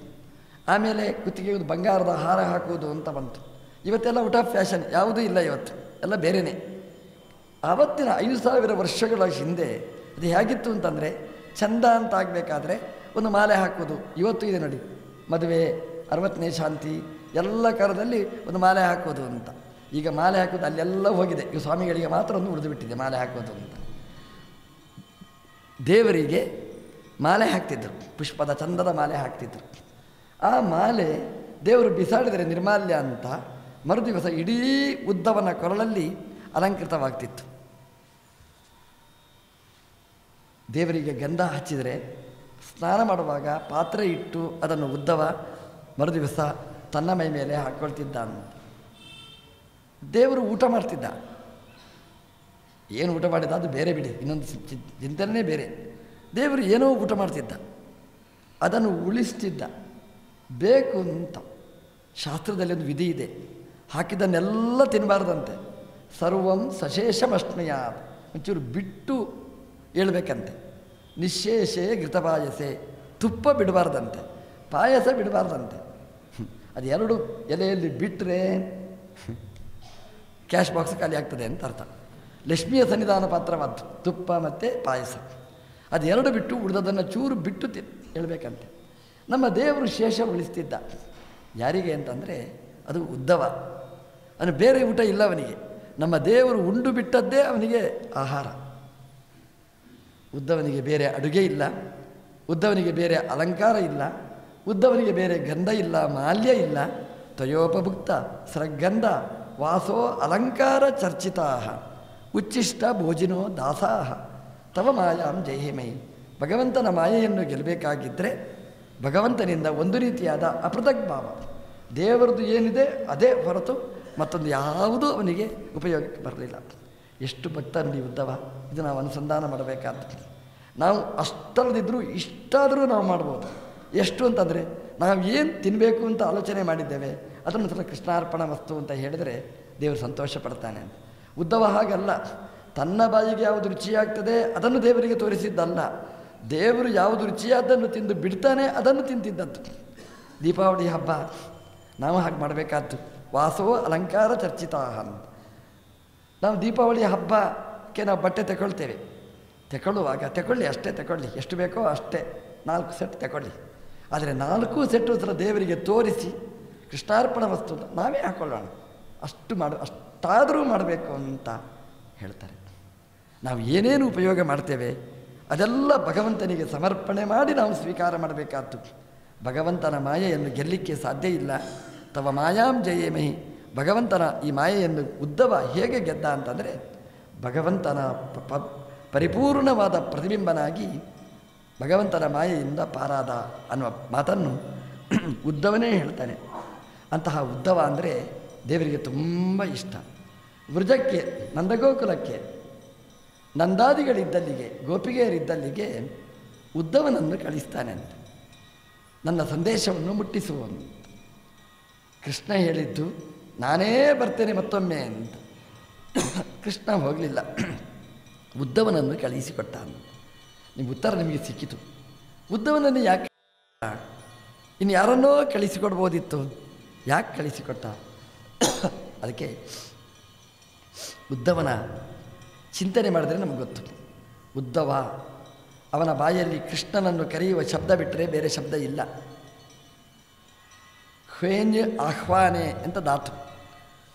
ಉತ್ ಹವ ಹವ ಅಂತಂದರೆ ಆಹ್ವಾನ, ಕರೆಯುವವ ಅಂತ.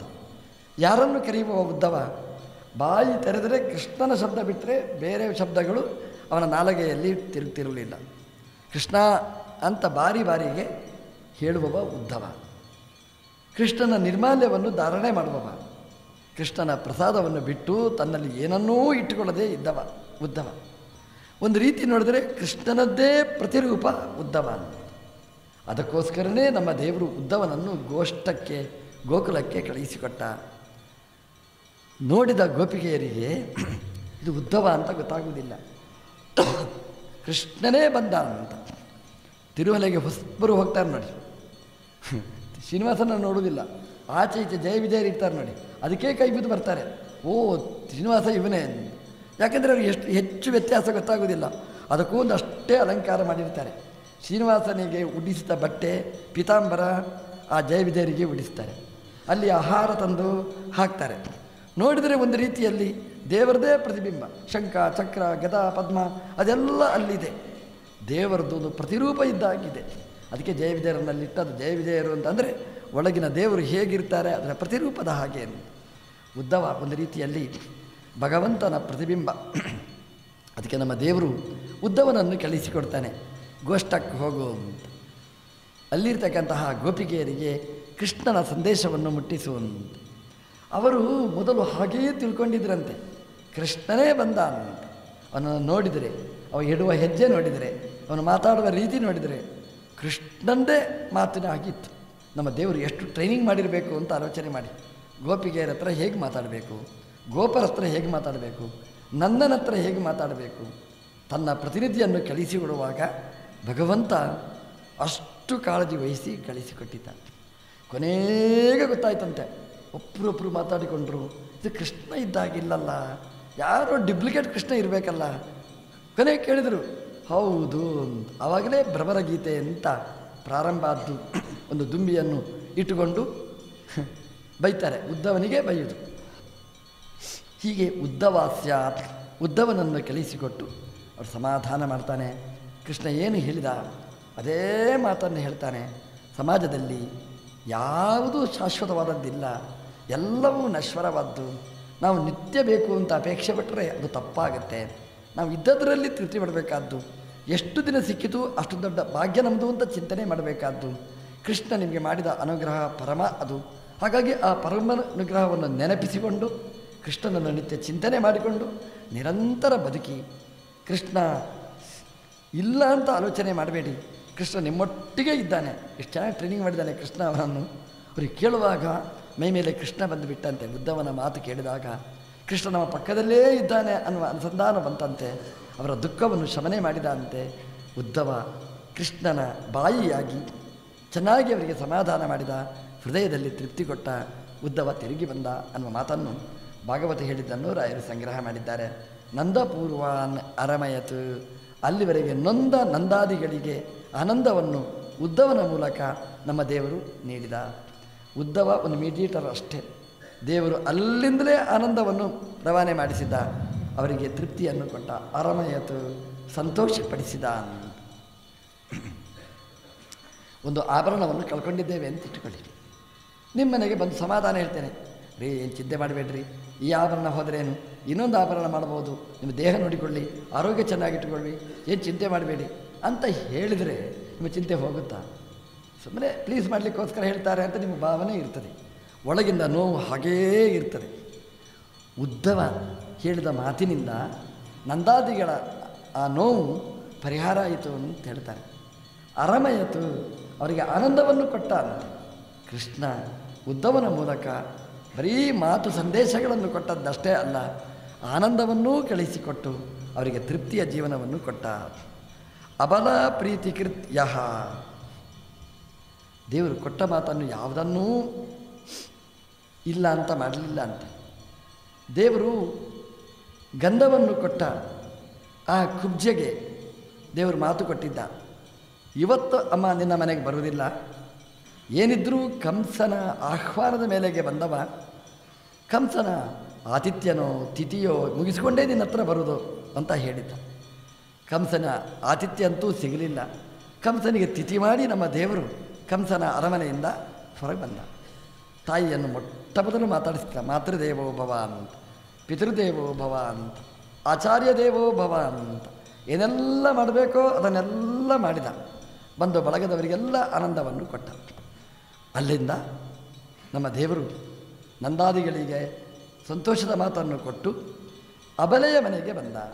ಅಬಲೆ ಅಂದರೆ ತ್ರಿವಕ್ರೆ. ಇವತ್ತು ತ್ರಿವಕ್ರೆ ಅಂದರೆ ಎಷ್ಟು ಸರಿಯಾಗುತ್ತೆ ಅಂತ ಗೊತ್ತಿಲ್ಲ. ಯಾಕಂದರೆ ವಕ್ರತೆಯೇ ಇಲ್ಲ. ವಕ್ರತೆ ಹೋದ ಜಾಗದಲ್ಲಿ ಗಾಯನೂ ಇಲ್ಲ, ಕಲೆನೂ ಇಲ್ಲ, ಚಿಹ್ನೆನೂ ಇಲ್ಲ, ಬಣ್ಣನೂ ಇಲ್ಲ. ಹಾಗಾಗಿ ಸರ್ವಾಂಗ ಸುಂದರಿಯಾಗಿದ್ದಾಳೆ ಈಗ ತ್ರಿವಕ್ರೆ. ಹಿಂದೆ ತ್ರಿವಕ್ರೆ ಅಷ್ಟೇ ಹೊರತು ಇವತ್ತು ತ್ರಿವಂಗ್ರೆ, ತ್ರಿವಕ್ರೆ ಅಲ್ಲ. ಅದಕ್ಕೆ ಕೃಷ್ಣಾಷ್ಟೋತ್ರದಲ್ಲಿ ಚೆನ್ನಾಗಿ ಹೇಳ್ತಾರೆ, ತ್ರಿವಕ್ರ ಮಧುರಾಗತಿ ಅಂತ ಹೇಳೋದಿಲ್ಲ. ತ್ರಿಭಂಗಿ ಮಧುರಾಗತಿ ಅಂತ ಹೇಳ್ತಾರೆ. ತ್ರಿಭಂಗಿಗೆ ಮಧುರವಾದ ಆಕಾರವನ್ನು ಕೊಟ್ಟವ ಅಂತ. ಎಷ್ಟು ಚೆನ್ನಾಗಿದೆ ನೋಡಿ. ತ್ರಿಭಂಗಿ ಬೇರೆ, ತ್ರಿವಕ್ರ ಬೇರೆ. ತ್ರಿಭಂಗ ಅಂದರೆ ಇದು ಒಂದು ಅರ್ಥ. ತ್ರಿಷು ಸ್ಥಳೇಶು ಭಂಗ ಅಸ್ಯಾಹ. ತ್ರಿಭಂಗಿ ಅಂತ ಹೇಳ್ಬೋದು. ಮೂರು ಕಡೆ ಭಂಗ ಉಳ್ಳವಳು ಅಂತ. ಅದು ಒಂದು ಅರ್ಥ. ಅದು ಒಂದೇ ಅರ್ಥ ಅಲ್ಲ. ತ್ರಿಭಂಗಿ ಅಂತಂದರೆ ಅದೊಂದು ಯೋಗದ ಒಂದು ಆಯಾಮ. ಯೋಗದಲ್ಲಿ ನಮ್ಮ ದೇವರನ್ನು ನೋಡಬೇಕು. ದೇವತೆಗಳ ಚಿತ್ರ ನೀವು ನೋಡಿ, ಎಲ್ಲಿಯಾದರೂ ನೋಡಿ. ದೇವರು ನಮ್ಮ ಹಾಗೆ ನೆಟ್ಟಗೆ ನಿಲ್ಲುವುದಿಲ್ಲ. ಪಿ ಟಿ ಕ್ಲಾಸಲ್ಲಿ ಮಾಡಿದ ಹಾಗೆ ಅದು ಸ್ಟ್ರೈಟ್ ನಿಲ್ಲಿ ಅಂದರೆ ನಿಲ್ಲಕ್ಕಿಲ್ಲ. ನಮ್ಮ ದೇವರು ಮೂರು ಕಡೆ ಬಾಗಿ ನಿಂತಿರ್ತಾನೆ. ನೀವು ನೋಡಿ ಯಾವುದೇ ರಾಮನ ದೇವ ವಿಗ್ರಹ, ಕೃಷ್ಣದೇವರ ವಿಗ್ರಹ, ನೀವು ಗಮನಿಸಿ, ಅದು ಮೂರು ಕಡೆ ಬಗ್ಗಿಗೊಂಡುಂಟು. ತ್ರಿಭಂಗಿ, ಅದೇ ಒಂದು ಭಂಗಿ, ವಿಶಿಷ್ಟವಾದ ಭಂಗಿ. ಇವತ್ತು ತ್ರಿವಕ್ರೆ ಅಲ್ಲ, ಅವಳು ತ್ರಿಭಂಗಿ. ಮೂರು ಕಡೆ ಭಂಗವುಳ್ಳವಳು ಅಲ್ಲ. ಮೂರು ಕಡೆ ಬಾಗಿದವಳು. ಬಾಗಬೇಕಾದ್ದು ಲಕ್ಷಣ ಅದು. ತ್ರಿಭಂಗಿಗೆ ಮಧುರವಾದ ಆಕಾರವನ್ನು ಕೊಟ್ಟವ ನಮ್ಮ ದೇವರು ಅಂತ.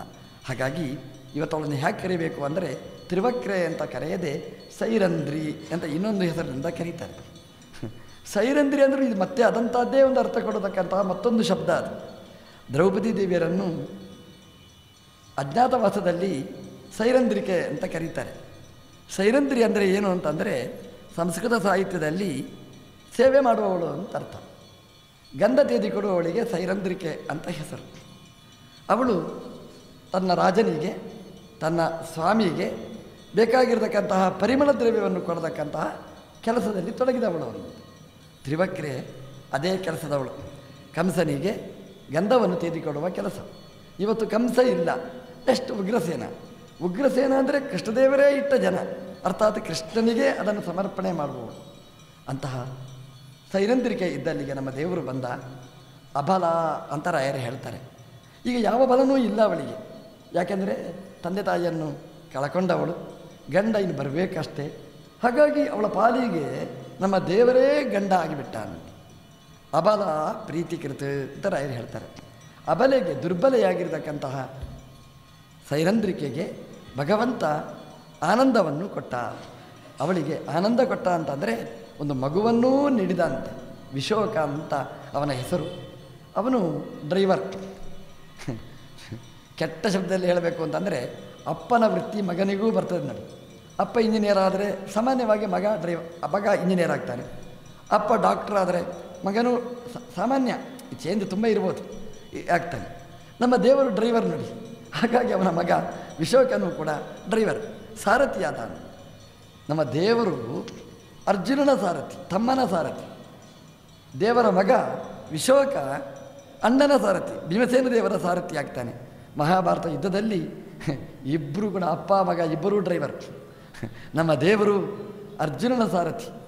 ಅರ್ಜುನನ ಸಾರಥ್ಯ ಅಂತಂದರೆ ಬರೀ ರಥದ ಕುದುರೆಯ ಹಗ್ಗ ಹಿಡಿದಷ್ಟೇ ಅಲ್ಲ, ಅರ್ಜುನನ ಇಂದ್ರಿಯಗಳ ಸಾರಥಿಯಾಗಿ. ಅಷ್ಟೇ ಅಲ್ಲ, ಏಳು ಅಕ್ಷೋಹಿಣಿ ಸೇನೆಯ ಸಾರಥಿಯಾಗಿ, ಅಷ್ಟೇ ಅಲ್ಲ, ಎದುರಾಳಿಗಳ ಹನ್ನೊಂದು ಅಕ್ಷೋಹಿಣಿಯ ಸಾರಥಿಯಾಗಿ, ಒಟ್ಟು ಇಡೀ ಬ್ರಹ್ಮಾಂಡದ ಸಾರಥಿಯಾಗಿ ಭಗವಂತ ಯುದ್ಧದಲ್ಲಿ ಭಾಗವಹಿಸ್ತಾನೆ. ಅವನ ಮಗ ಸುಪುತ್ರ ವಿಶೋಕ, ಅವನು ಜೀವೋತ್ತಮರಾದ ವಾಯುದೇವರ ಸಾರಥಿಯಾಗ್ತಾನೆ. ಅಂತೂ ನಮ್ಮ ದೇವರು ಅಬಲೆಗೆ ಆನಂದವನ್ನು ಕೊಟ್ಟ ಅಂತ ಯಾರನ್ನೂ ಉಪೇಕ್ಷೆ ಮಾಡಿಲ್ಲ ಅನ್ನೋದನ್ನು ಭಾಗವತ ಹೇಳುತ್ತೆ. ಶುಭಸ್ಯ ಅಕ್ರೂರಸ್ಯ ಪ್ರೀತಿಕೃತ ಅಕ್ರೂರ ಕಂಸನ ಮಂತ್ರಿ. ತನ್ನ ಬಂಗಾರದ ರಥದಲ್ಲಿ ಕೃಷ್ಣನನ್ನು ವೃಂದಾವನದಿಂದ ಕರ್ಕೊಂಡು ಬಂದವ. ಮಧುರಾಪಟ್ಟಣದ ಪ್ರಧಾನ ಬೀದಿಗೆ ಬಂದಾಗ ನಮ್ಮ ದೇವರು ರಥದಿಂದ ಕೆಳಗಿಳಿದ. ತಾನಾಗಿ ಇಳಿದು ಅಕ್ರೂರನನ್ನು ಕಳಿಸಿಕೊಟ್ಟ. ಅಕ್ರೂರ ಹೇಳಿದ, ಸ್ವಾಮಿ, ಇಷ್ಟೇನಾ ನನಗೆ ಭಾಗ್ಯ ಅಂತ. ಮನೆಗೆ ಬರಬೇಕು ದೇವರು ಹೇಳಿದ, ಇವತ್ತು ಅಕ್ರೂರನಿಗೆ ಮನೆಗೆ ಬರ, ಬರುವ ಕಾರ್ಯಕ್ರಮ ನಮ್ಮ ನಮ್ಮದರಲ್ಲಿ ಇಲ್ಲ. ಕಂಸನ ಪ್ರೋಗ್ರಾಮ್ ಲಿಸ್ಟ್ ಇತ್ತು. ಎಷ್ಟು ಗಂಟೆ, ಎಷ್ಟು ನಿಮಿಷ, ಎಷ್ಟು ಸೆಕೆಂಡ್ ಎಲ್ಲೆಲ್ಲಿ ಇರಬೇಕು ಅಂತ. ಕೃಷ್ಣ ಹೇಳಿದ, ಆ ಕಾರ್ಯಕ್ರಮ ಕಂಸ ಕರೆದ. ಆಹ್ವಾನದ ಮೇಲೆಗೆ ಬಂದ ಕಾರ್ಯಕ್ರಮಗಳು. ಹಾಗಾಗಿ ಅಕ್ರೂರನ ಮನೆಗೆ ಇವತ್ತು ಬರಲಿಕ್ಕಿಲ್ಲ, ಮಂತ್ರಿಯ ಮನೆಗಿಲ್ಲ. ಇವತ್ತು ರಾಜನ ಆಸ್ಥಾನಕ್ಕೆ ನಾನು ಹೋಗೋದು ಅಂತ ಭಗವಂತ ಅಕ್ರೂರನ ಮನೆಯ ಆತಿಥ್ಯವನ್ನು ದೂರ ಇಟ್ಟಿದ್ದ. ಕೃಷ್ಣ ಹೇಳಿದ ಬರುವುದಿಲ್ಲ ಅಂತ ಹೇಳಿಲ್ಲ, ಬರ್ತೇನೆ ಅಂತ ಹೇಳಿದ್ದ. ಇವತ್ತು ಮತ್ತೆ ಸೈರಂದ್ರಿಯ ಮನೆಯಿಂದ, ತ್ರಿವಕ್ರೆಯ ಮನೆಯಿಂದ ನಮ್ಮ ದೇವರು ಅಕ್ರೂರನ ಮನೆಗೆ ಬಂದ. ರಾಯರೊಂದು ವಿಶೇಷಣ ಕೊಡ್ತಾರೆ. ಶುಭಸ್ಯ ಅಕ್ರೂರಸ್ಯ ಅಂತ. ಇದನ್ನು ನಾವು ಕೊನೇ ತನಕ ನೆನಪಿಟ್ಟುಕೊಳ್ಬೇಕಾದ ವಿಶೇಷಣ ಇದು. ಶುಭನಾದ ಅಕ್ರೂರ. ಅಕ್ರೂರ ಕೆಟ್ಟವ ಅಲ್ಲ, ಅಕ್ರೂರ ಒಳ್ಳೆಯವ. ನಾವು ಮೊನ್ನೆ ನೋಡಿದ್ದೇವೆ. ಅಕ್ರೂರ ಕೃಷ್ಣನತ್ರ ಬಂದಿದ್ದಾನೆ ಅಂತ ಅಂದ್ರೇ ಅದೊಂದು ಒಳ್ಳೆಯ ಲಕ್ಷಣ. ದೇವರು ಆಲಿಂಗನೆ ಮಾಡಿದ್ದಾನೆ ಅಂತಂದರೆ ಒಳ್ಳೆಯವ ಅಂತ ಅರ್ಥ. ಸ್ನಾನ ಮಾಡುವಾಗ ಭಗವಂತನನ್ನು ಅನುಸಂಧಾನ ಮಾಡಿದ ಅಂದರೆ ಒಳ್ಳೆಯವ ಅಂತ ಅರ್ಥ. ಸ್ನಾನ ಮಾಡುವಾಗ ಶೇಷಶಾಹಿಯಾದ ಭಗವಂತನ ದರ್ಶನ ಆಯಿತು, ಸಾಕ್ಷಾತ್ಕಾರ ಆಯಿತು ಅಂತಂದರೆ ಒಳ್ಳೆಯವ. ದೇವರು ಅವನೊಟ್ಟಿಗೆ ಸ್ನಾನ ಮಾಡಿದ ಅಂತಂದರೆ ಒಳ್ಳೆಯವ ಅಂತ ಅರ್ಥ. ಸ್ನಾನ ಮಾಡಿ ಮೇಲೆ ಬಂದರೆ ಅಲ್ಲಿಯೂ ದರ್ಶನ ಕೊಟ್ಟ. ಅಕ್ರೂರು ಎಲ್ಲೆಲ್ಲಿ ನೋಡ್ತಾನೆ, ಅಲ್ಲೆಲ್ಲ ಕಡೆ ಭಗವಂತ ಇದ್ದಾನೆ ಅಂತಂದರೆ ಅವನು ಒಳ್ಳೆಯವ ಅಂತ ಅರ್ಥ. ನಾವು ಎಲ್ಲಿ ಹೋಗ್ತೇವೆ? ನಾವು ಹೋಗೋದಕ್ಕಿಂತ ಅರ್ಧ ಕ್ಷಣಕ್ಕಿಂತ ಮುಂಚೆ ದೇವರು ಖಾಲಿ ಮಾಡ್ತಾನೆ ಜಾಗ. ಅಕ್ರೂರ ಎಲ್ಲೆಲ್ಲಿ ಹೋಗ್ತಾನೆ ಅಲ್ಲಿ ದೇವರು ಇರ್ತಾನೆ. ಯಾರು ಒಳ್ಳೆಯವರು, ಯಾರು ಕೆಟ್ಟವರು ಅಂತ ನಾವು ನೋಡಬೇಕಾದ್ರು ಅಕ್ರೂರ ಒಳ್ಳೆಯವ, ಎಲ್ಲೆಲ್ಲಿ ನೋಡ್ತಾನೆ? ಅಲ್ಲೆಲ್ಲ ಕಡೆ ನಮ್ಮ ದೇವರು ಇದ್ದ. ಹಾಗಾಗಿ ಶುಭಸ್ಯ ಅಕ್ರೂರಸ್ಯ ಅಂತ ರಾಯರು ಹೇಳ್ತಾರೆ. ಅಕ್ರೂರ ಅಂತಂದರೆ ಆ ಅಂದರೆ ನಿಷಿದ್ಧವಾದ ಕರ್ಮ. ಅದರ ಬಗ್ಗೆ ಕ್ರೌರ್ಯ ಉಳ್ಳವ. ಯಾವುದು ಶಾಸ್ತ್ರದಲ್ಲಿ ನಿಷೇಧ ಮಾಡ್ತಾರೆ, ಅದನ್ನು ಕಿಂಚಿತ್ತೂ ಒಪ್ಪುವವ ಅಲ್ಲ. ಅದರ ಬಗ್ಗೆ ಕ್ರೌರ್ಯವನ್ನು ತುಂಬಿಕೊಂಡವ ಅಕ್ರೂರ ಅಂತ. ಹಾಗಾಗಿ ಅವನು ಒಳ್ಳೆಯವ. ಒಳ್ಳೆಯವರ ಲಕ್ಷಣ ಏನು ಅಂತಂದರೆ, ಯಾವುದನ್ನು ಮಾಡಬಾರ್ದು ಅಂತ ಹೇಳ್ತಾರೆ, ಅದನ್ನು ಮಾಡಲಿಕ್ಕೆ ಹೋಗುವುದಿಲ್ಲ. ಅದರ ಬಗ್ಗೆ ಒಂದು ರೀತಿಯಾದ ರೋಷ ಇರ್ತದೆ, ಅವರಿಗೆ ಆಕ್ರೋಶ ಇರ್ತದೆ ಅಂತ. ಅಕ್ರೂರ ಆ ಗುಂಪಿಗೆ ಸೇರಿದವ. ಮುಂದೆ ಒಂದು ಸಲ ಕೃಷ್ಣನಿಗೆ ವಿರೋಧ ಮಾಡಿದ್ದು ಕಾಣ್ತದೆ. ಸತ್ಯಭಾಮೆಯ ಕಲ್ಯಾಣ ಘಟ್ಟದಲ್ಲಿ ಮತ್ತೊಮ್ಮೆ ನೆನಪಿಸ್ತೇನೆ ಅದನ್ನು. ಅಕ್ರೂರಸ್ಯ ಶುಭ ಅಶುಭಸ್ಯ ಪ್ರೀತಿ ಕೃತೆ ಅವನಿಗೆ ಆನಂದವನ್ನು ಕೊಟ್ಟ. ಅಕ್ರೂರನ ಮನೆಗೆ ಹೋದ. ಭಗವಂತ ಅಕ್ರೂರನನ್ನು ಮಾತಾಡಿಸ್ತಾನೆ. ತುಂಬ ಖುಷಿಯಾಯಿತು. ಖುಷಿಯಾಯಿತು ಅನ್ನೋದಕ್ಕೆ ಏನು? ಅದಕ್ಕೆ ನಿದರ್ಶನ. ಅಕ್ರೂರನ ಹತ್ರ ಹೇಳ್ತಾನೆ, ನೀನು ಹಸ್ತಿನಾಪುರಕ್ಕೆ ಹೋಗಬೇಕು ಅಂತ. ಉದ್ದವನನ್ನು ವೃಜಕ್ಕೆ, ಗೋಕುಲಕ್ಕೆ, ನಂದಗೋಕುಲಕ್ಕೆ ಕಳಿಸಿಕೊಟ್ಟ. ಅಲ್ಲಿ ಸಮಾಧಾನ ಮಾಡುವಂತ ಕಳಿಸಿಕೊಟ್ಟ. ಅಕ್ರೂರನನ್ನು ನಮ್ಮ ದೇವರು ಹಸ್ತಿನಾಪುರಕ್ಕೆ ಕಳಿಸಿಕೊಡ್ತಾನೆ ಅಂತ. ನಮ್ಮ ದೇವರಿಗೆ ಈಗ ಸುಮಾರು ಹದಿನಾಲ್ಕೂವರೆ ವರ್ಷ. ಯಾಕೆಂತಂದರೆ ಪಾಂಡವರು ಈಗ ಹಸ್ತಿನಾಪುರಕ್ಕೆ ಪ್ರವೇಶ ಮಾಡಿದ್ದಷ್ಟೇ. ಪಾಂಡವರು ಪಂಡ್, ಪಾಂಡಕೇಶ್ವರದಲ್ಲಿ ಹದಿನಾಲ್ಕು ವರ್ಷ ಇದ್ದರು ಹದಿನಾಲ್ಕು ತುಂಬ ವರ್ಷ ಇದ್ದರು ಅರ್ಜುನನಿಗೆ ಹದಿನಾಲ್ಕು ವರ್ಷ ಆಗುವ ತನಕ ಪಾಂಡಕೇಶ್ವರದಲ್ಲಿದ್ದರು ಹದಿನಾಲ್ಕು ವರ್ಷ ಪಾಂಡುರಾಜನಿಗೆ ಪಾಂಡುರಾಜನ ಸುಪುತ್ರನಾದ ಅರ್ಜುನನಿಗೆ ಹದಿನಾಲ್ಕು ವರ್ಷ ಆದಾಗ ಮಾದ್ರಿ ಪಾಂಡುರಾಜನ ಜೊತೆಗೆ ಸೇರಿದ್ದಕ್ಕೆ ಅವನು ಮೃತಿಯನ್ನು ಹೊತ್ತಿದ. ಹಾಗಾಗಿ ಪಾಂಡಕೇಶ್ವರವನ್ನು ಬಿಡಬೇಕಾಯಿತು. ಕುಂತಿ ತನ್ನ ಮಕ್ಕಳ ಜೊತೆಗೆ ಹಸ್ತಿನಾಪುರಕ್ಕೆ ಪ್ರವೇಶ ಮಾಡಿದ್ದಾಳೆ. ಅಂದರೆ ಅರ್ಜುನನಿಗೆ ಮಿನಿಮಮ್ ಹದಿನಾಲ್ಕು ವರ್ಷ, ನಮ್ಮ ದೇವರಿಗೆ ಆರು ವರ್ಷ ಹೆಚ್ಚು ಅಂದರೆ ಹದಿನಾಲ್ಕೂವರೆ ವರ್ಷ. ಮೊದಲು ಆಲೋಚನೆ ಮಾಡಿ, ಹದಿನಾಲ್ಕೂವರೆ ವರ್ಷ ಅಂದರೆ ಇನ್ನೂ ಮೀಸೆ ಬಾರದಿದ್ದ ವಯಸ್ಸು. ನಮ್ಮ ದೇವರು ಹಸ್ತಿನಾಪುರಕ್ಕೆ ಅಕ್ರೂರನನ್ನು ಕಳಿಸಿ, ಹೇಳಿ ಕಳಿಸಿದ್ದಾನಂತೆ. ಅಕ್ರೂರ, ಹೋಗಿ ನೋಡಿಕೊಂಡು ಬಾ. ಪಾಂಡವರಿಗೆ ಹೇಗಿದ್ದಾರೆ ಎಂಥ ದೃಷ್ಟಿ ನೋಡಿ. ಯಾವಾಗ ನಾವು ಹೇಳಿ ಕಳಿಸಬೇಕು ಅಂತಂದರೆ, ಎಲ್ಲಿ ಸಮಸ್ಯೆ ಇರ್ತದೆ, ಯಾವಾಗ ಆಪತ್ತಿರ್ತದೆ, ಆ ಕಾಲದಲ್ಲಿ ನಾವು ವಿಚಾರಿಸಬೇಕಂತೆ. ತುಂಬ ಕಷ್ಟದಲ್ಲಿ ಇರ್ತೀರಿ ಅಂತ ಇಟ್ಕೊಳ್ಳಿ. ಆ ಕಾಲಕ್ಕೆ ನಿಮ್ಮ ಮನೆಗೆ ಬರಬೇಕು. ಬಂದು ನಿಮ್ಮ ಕಷ್ಟದಲ್ಲಿ ನಾವು ಭಾಗವಹಿಸಬೇಕು. ನಿಮಗೇನು ಸಹಾಯ ಬೇಕು ಅದನ್ನು ಮಾಡಬೇಕು, ಮಾಡ್ತೇನೆ ಅಂತ ಭರವಸೆ ಕೊಡಬೇಕು, ಅದನ್ನು ಈ ರೀತಿ ಈಡೇರಿಸಬೇಕು. ಇದು ನಮ್ಮ ಕರ್ತವ್ಯದಲ್ಲಿ ಸೇರಿತ್ತು ನಮ್ಮಲ್ಲಿ ಹಿಂದಿನ ಕಾಲದಲ್ಲಿದ್ದಂಥ ಸಂಪ್ರದಾಯ, ಎಲ್ಲಿಯಾದರೂ ಮನೆಯಲ್ಲಿ ಸತ್ತ ಸುದ್ದಿ ಬಂದರೆ ನಮಗೆ ಆಹ್ವಾನ ಬರಬೇಕು ಅಂತ ನಿರೀಕ್ಷೆ ಮಾಡಬಾರ್ದಂತೆ. ನಾವಾಗಿ ಹೋಗಬೇಕಂತೆ, ಹೋಗಿ ಕೇಳಬೇಕಂತೆ, ಏನು ಬೇಕು, ಏನಾಗಬೇಕು ಅಂತ ಎಲ್ಲ ರೀತಿಯ ವ್ಯವಸ್ಥೆಯನ್ನು ಮಾಡಿಕೊಡ್ಬೇಕಂತೆ. ನಮ್ಮಲ್ಲಿ ಇರಲಿ ಬಿಡಲಿ ಕೊಟ್ಟು ಬರಬೇಕಂತೆ. ಆಮೇಲೆ ತಗೊಳ್ತೇನೆ ಅಂತ ಹೇಳಬೇಕಂತೆ. ಇದು ನಮ್ಮಲ್ಲಿ ಹೊಂದಿರತಕ್ಕಂತಹ ಕ್ರಮ. ತುಂಬ ಆಪತ್ತಲ್ಲಿದ್ದಾಗ ಸಹಾಯ ಮಾಡುವಂತಹ ಒಂದು ಕ್ರಮ ನಮ್ಮಲ್ಲಿ ಚಾಲ್ತಿಯಲ್ಲಿದ್ದದ್ದು ನಮ್ಮ ದೇವರು ಪಾಂಡುರಾಜ ಸತ್ತ ಪಾಂಡವರನ್ನು ಪುಟ್ಟ ಪುಟ್ಟ ಮಕ್ಕಳನ್ನು ಹಿಡ್ಕೊಂಡು ಆ ವಿಧವೆ ಹೆಂಗಸು ಕುಂತಿ ಒಂಟಿ ಹೆಣ್ಮಗಳು ಹಸ್ತಿನಾಪುರಕ್ಕೆ ಬರ್ತಾಳೆ. ರಾಜ, ಧೃತರಾಷ್ಟ್ರ, ಕುರುಡ. ಕುರುಡ ಅಂದರೆ ಮಕ್ಕಳ ತಪ್ಪನ್ನು ಅರಿತುಕೊಳ್ಳಲಿಕ್ಕೆ ಕುರುಡ. ಮಕ್ಕಳು ಮಾಡಿದ ಅನ್ಯಾಯದ ಬಗ್ಗೆ ಅಂಧ. ಅರ್ಥ ಮಾಡಿಕೊಳ್ಳಲಿಕ್ಕೆ ಆಗದಿದ್ದ ದುರ್ಬಲ ದುರ್ಯೋಧನ ಆ ಕುರುಡತನದ ಪೂರ್ಣ ಪ್ರಯೋಜನವನ್ನು ಪಡೆದು ದುರುಪಯೋಗ ಮಾಡಿಕೊಂಡು ಅನ್ಯಾಯ ಮಾಡುವವ ಪಾಂಡವರಿಗೆ ಅನ್ಯಾಯ ನಡೀತಾ ಇದೆ. ಹಾಗಾಗಿ ಅಕ್ರೂರನನ್ನು ಕಳಿಸಿಕೊಡ್ತಾನೆ ಪುಟ್ಟ ಕೃಷ್ಣ, ಹದಿನಾಲ್ಕೂವರೆ ವರ್ಷದ ಕೃಷ್ಣ ಹೇಳಿ ಕಳಿಸ್ತಾನೆ. ಏನು ಹೇಳಿ ಕಳಿಸ್ತಾನೆ? ಪಾಂಡವರ ಹತ್ರ ವಿಚಾರಿಸು. ಕುಂತಿ ಹತ್ರ ಕೇಳು. ಅಮ್ಮ, ನಿನಗೇನು ಕಷ್ಟ ಅಂತ ಕೇಳು. ಎಲ್ಲ ವ್ಯವಸ್ಥೆ ಆಗಿದೆಯಾ ಅಂತ ಕೇಳು. ವಸತಿ ವ್ಯವಸ್ಥೆ ಉಂಟಾ ಅಂತ ಕೇಳು. ಊಟಕ್ಕೆ ವ್ಯವಸ್ಥೆ ಉಂಟಾ ಅಂತ ಕೇಳು. ಸ್ಥಾನಮಾನಗಳಿಗೆ ತೊಂದರೆ ಉಂಟಾ ಅಂತ ಕೇಳು. ನಿಮ್ಮ ಪಾಲು ನಿಮಗೆ ಸಿಕ್ಕಿದೆಯಾ ಅಂತ ಕೇಳು. ಎಂಥ ಧೈರ್ಯ ನೋಡಿ ನಮ್ಮ ದೇವರಿಗೆ. ಏನಾದರೂ ಸಮಸ್ಯೆ ಇದ್ದರೆ ನಾಲ್ಕು ದಿವಸ ಅಲ್ಲಿ ಇರು. ಇದ್ದು ನೋಡು. ಹೇಳಲಿಕ್ಕಾಗುವುದಿಲ್ಲ. ಕುಂತಿ ಎಲ್ಲವನ್ನೂ ಬಾಯಿಬಿಟ್ಟು ಕೇಳೋದಿಲ್ಲ ಯಾಕೆಂದರೆ ಅವಳು ಒಂದು ಒಳ್ಳೆಯ ಕುಟುಂಬದಲ್ಲಿ ಬಂದವಳು. ರಾಜನ ಮಡದಿಯಾದವಳು. ಹೇಳುವುದಿಲ್ಲ. ಹೇಳಲಿಕ್ಕಾಗುವುದೂ ಇಲ್ಲ, ಸಲಿಗೆ ಇಲ್ಲ. ಹಾಗಾಗಿ ಒಳಗೆ ಮೌನದಿಂದ ನೋವನ್ನು ಅನುಭವಿಸ್ತಿರ್ಬೋದು. ಅಕ್ರೂರ ನೋಡುವುದು, ಮುಖ ನೋಡುವುದು ಬರುವುದಲ್ಲ. ನಾಲ್ಕು ದಿವಸ ಇರಬೇಕಲ್ಲಿ. ಸಾಮಾನ್ಯವಾಗಿ ನೋಡಿದಾಗ ಗೊತ್ತಾಗುವುದಿಲ್ಲ. ನೀರಿಗೆ ಇಳಿದು ನೋಡಬೇಕಂತೆ ಎಷ್ಟು ಆಳ ಅಂತ ಮನುಷ್ಯರೊಟ್ಟಿಗೆ ಇದ್ದು ನೋಡಬೇಕಂತೆ, ಅವರ ಸ್ಥಿತಿ ಹೇಗಿರ್ತದೆ ಅಂತ. ಅಕ್ರೂರನನ್ನು ನಿಲ್ಲಿಸಿದ. ನೋಡು, ಪಾಂಡವರಿಗೆ ಏನಾದರೂ ಅನ್ಯಾಯ ಆದರೆ, ಯಾರಿಂದ ಅನ್ಯಾಯ ಆಯಿತು ನೋಡು. ದುರ್ಯೋಧನನಿಂದಲೂ ಹೆಸರೆತ್ತಿ ಹೇಳ್ತಾನೆ. ದುರ್ಯೋಧನನಿಂದಲೂ, ಯಾರಿಂದಲೂ ಆಗಿರ್ಬೋದು. ನೇರ ಧೃತರಾಷ್ಟ್ರನಿಗೆ ಹೋಗಿ ಹೇಳೋದು ನಮ್ಮ ಕೃಷ್ಣ ಹೇಳಿದ, ಚೆನ್ನಾಗಿ ನೋಡಿಕೊಳ್ಬೇಕು ಪಾಂಡವರನ್ನು, ಜಾಗ್ರತೆ ಅಂತ ಹೇಳಿ ಬಾ ಅಂತ ಹೇಳ್ತಾನೆ. ಎಂಥ ಧೈರ್ಯ ಅಲ್ಲ. ಇದಕ್ಕೆ ದೇವರು ಅಂತ ಹೇಳೋದು ಅದಕ್ಕೋಸ್ಕರನೇ. ಅಕ್ರೂರ ಹೋಗ್ತಾನೆ, ನೋಡ್ತಾನೆ, ಕ್ರೂಡನ ವೈಷಮ್ಯ, ಪಕ್ಷಪಾತ, ಪಾರ್ಶಾಲಿಟಿ, ಇದನ್ನೆಲ್ಲ ಗಮನಿಸ್ತಾನೆ. ಕೊನೆಗೆ ಅಕ್ರೂರ ಹೇಳಿ ಬರ್ತಾನೆ ಕೃಷ್ಣ ಹೇಳಿದ್ದಾನೆ, ಈ ಮಾತು ನೆನಪಿಟ್ಟುಕೊಳ್ಳು ಧೃತರಾಷ್ಟ್ರ ಕುರುಡ ಹೌದು ನೋಡಿ. ಆದರೆ ಎಷ್ಟು ಟ್ರೈನಿಂಗ್ ಆಗಿದೆ ನೋಡಿ ಅವನಿಗೆ. ಅವನೇನು ಹೇಳ್ತಾನೆ? ಕೃಷ್ಣ, ದೊಡ್ಡ ದೇವರು, ಪಾಪ, ಹೇಳಿ ಕಳಿಸಿದ್ದ ನನ್ನ ಮೇಲೆ ಪ್ರೀತಿಯಿಂದ. ದೊಡ್ಡ ಮಾತು ಹೇಳಿದ್ದಾನೆ. ಎಲ್ಲರನ್ನೂ ಚೆನ್ನಾಗಿ ನೋಡಿಕೊಳ್ಬೇಕು ಅಂತ. ಚೆನ್ನಾಗಿ ನೋಡಿಕೊಳ್ಬೇಕಾದ ನನ್ನ ಕರ್ತವ್ಯ. ಆದರೆ ನಾನೇನು ಮಾಡಲಿ? ನಾನು ಸ್ವತಂತ್ರ ಅಲ್ಲ. ನಾನು ಅಸ್ವತಂತ್ರ. ದೇವರು ಹೇಗೆ ಪ್ರೇರಣೆ ಮಾಡ್ತಾನೆ? ಹಾಗೆ ನಾನು ಮಾಡ್ತೇನೆ. ದೇವರು ನನ್ನ ಕೈಯಲ್ಲಿ ಏನು ಮಾಡಿಸ್ತಾ ನೋಡಿ, ಅಧಿಕ ಪ್ರಸಂಗ ವ್ಯಾಖ್ಯಾನಗಳೆಲ್ಲ ನಮಗೆ ಯಾವಾಗ ಇಷ್ಟ ಇರುವುದಿಲ್ಲ, ಇಂಥ ಮಾತುಗಳನ್ನೇ ಹೇಳ್ತೇವೆ. ಎಲ್ಲ ದೇವರೇ ಮಾಡಿಸಿದ್ರಿ. ನಾನೇನು ಮಾಡಲಿಕ್ಕೆ ಸಾಧ್ಯ ದೇವರು ನನ್ನ ಕೈಯಲ್ಲಿ ಏನು ಮಾಡಿಸ್ತಾರೆ? ಏನಾದರೂ ಕೊಡಿ ಅಂತ ಹೇಳಿದ್ರೆ, ದೇವರು ಏನು ಕೊಡಿಸ್ತಾನೆ? ಅದನ್ನು ಕೊಡೋದು ನಾನ್ಯಾರಿಗೆ ಕೊಡಲಿಕ್ಕೆ? ಆ ದೇವರೇ ಕೊಡಿಸಬೇಕು. ಪಾಂಡವರಿಗೆ ನಾನೇನು ಮಾಡಲಿಕ್ಕೆ ಸಾಧ್ಯ? ಪಾಪ ಒಳ್ಳೆಯವರು ಸಾತ್ವಿಕರು. ಮತ್ತು ನನ್ನ ಮಗ ನಾನು ಹೇಳಿದ ಹಾಗೆ ಕೇಳೋದಿಲ್ಲ. ಬಿಟ್ಬಿಡು ಅಂತ ಹೇಳಿ, ಅದಾಗೋದಿಲ್ಲ ಅಂತ ಹೇಳ್ತಾನೆ. ದುರ್ಯೋ ಧೃತರಾಷ್ಟ್ರ, ಹೊರಗಿನಿಂದ ಕುರುಡಾದರೂ, ಒಳಗಿನಿಂದ ಭಾರೀ ಲೆಕ್ಕಾಚಾರದ ಮನುಷ್ಯ.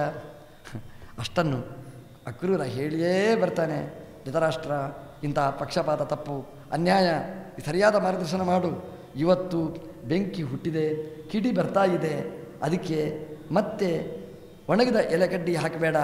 ಅದು ಉರಿಯುತ್ತದೆ ಜ ಪ್ರಜ್ವಲಿಸ್ತದೆ ಮತ್ತೆ ಅದು ಕೆಂಡ ಮಂಡಲವಾಗಿ ಮತ್ತೆ ಸುಡಬಹುದು. ಜಾಗ್ರತೆ ಜಾಗ್ರತೆ ಜಾಗ್ರತೆ ಅಂತ ಅವತ್ತೇ ಹೇಳಿ ಕಳಿಸ್ತಾನೆ. ನಮ್ಮಲ್ಲೆಲ್ಲ ಹೇಳೋದುಂಟು. ಚಿಕ್ಕ ಮಕ್ಕಳಾಗಿದ್ದಾಗ ಹೇಳಬೇಕು ಅಂತ. ಯಾವುದೇ ಒಂದು ಗಲಾಟೆ ಅದು ಆರಂಭ ದಶೆಯಲ್ಲಿದ್ದಾಗ ಹೇಳಬೇಕು ಅಂತ. ದೊಡ್ಡದಾದ ಮೇಲೆ ಹೇಳೋದಲ್ಲ ಅಂತ. ನಮ್ಮ ದೇವರು ಮೊದಲೇ ಹೇಳಿ ಕಳಿಸಿದ್ದಾನೆ ಅಂತ. ಎಷ್ಟು ಹೇಳಬೇಕು? ಅದನ್ನು ಹೇಳಿದ್ದ ಅಕ್ರೂರಸ್ಯ ಪ್ರತಿ ವಿಧಿತ ಪ್ರತಾ ಪುತ್ರ ಕೃತ್ಯ. ಮಕ್ಕಳ ಕೃತ್ಯವನ್ನೆಲ್ಲ ತೀರ್ಮಾನ ಮಾಡಿ ಬರುವಾಗ ಅರ್ಜುನನನ್ನು ಕರ್ಕೊಂಡು ಬರ್ತಾನೆ, ಸಹದೇವನನ್ನು ಕರ್ಕೊಂಡು ಬರ್ತಾನೆ ಅಂತ ಮುಂದೆ ಹೇಳ್ತಾರೆ. ಜರಾಯಾಹ ಸೂನಂ ನಿರ್ಭಿನ್ನ ಸೇನಂ ವ್ಯತನುತ ಬಹುಶಃ ವಿದ್ರುತನ್ನ ಸಪಾಯಾತ್ ಇದು ಪ್ರಧಾನವಾದ ಘಟ್ಟ ಶ್ರೀಮದ್ ಭಾಗವತದಲ್ಲಿ ಬಂದಿರತಕ್ಕಂಥದ್ದು. ಅದು ಜರಾಸಂದನ ಕಥೆ. ಜರಾಸಂಧ ಬಲಿಷ್ಠನಾದಂತಹ ಒಬ್ಬ ರಾಜ. ಜರಾಸಂಧ ಜರೆಯಿಂದ ಸಂಧಾನ ಆಗಿರತಕ್ಕಂಥದ್ದು ಅವನ ಶರೀರ.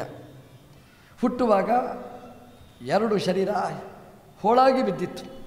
ಜರ ಅನ್ನತಕ್ಕಂತಹ ಒಬ್ಬ ಹೆಣ್ಮಗಳು ಜೋಡಿಸಿದ್ದಾಳೆಂತೆ. ಶರೀರವನ್ನು ಜೋಡಿಸಿ ಒಟ್ಟು ಮಾಡಿದ್ದಾಳೆ ಅಂತ. ಅವನಿಗೆ ಹೆಸರೇ ಜರಾಸಂಧ ಅಂತ ಅವನಿಗೆ ಹೆಸರು.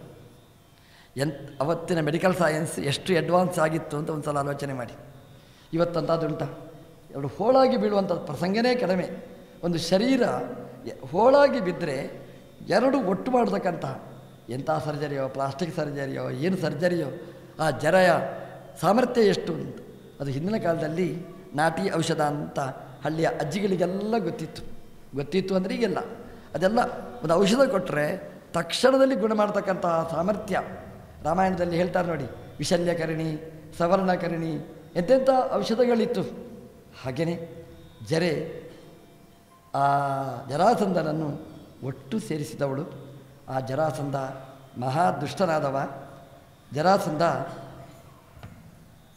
ಅವನು ಮಗದ ದೇಶದವ.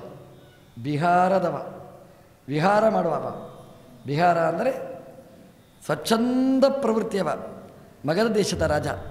ಜರಾಸಂದ ಮಾಘದ ಅಂತ ಅವನು ಕರೀತಾರೆ. ಆ ಜರಾಯಾಹ ಸೂನಂ. ಜರಾಸಂದ ಅವನಿಗೆ ಕೃಷ್ಣನ ಮೇಲೆ ಸಿಟ್ಟು. ಯಾದವರ ಮೇಲೆ ಆಕ್ರೋಶ. ಯಾವಾಗ ನೋಡಿದ್ರೂ ಅವರ ಮೇಲೆ ಒಂದು ಕಣ್ಣು. ಯಾಕೆ? ಕಾರಣ ಇಲ್ಲ ಅಂತಲ್ಲ.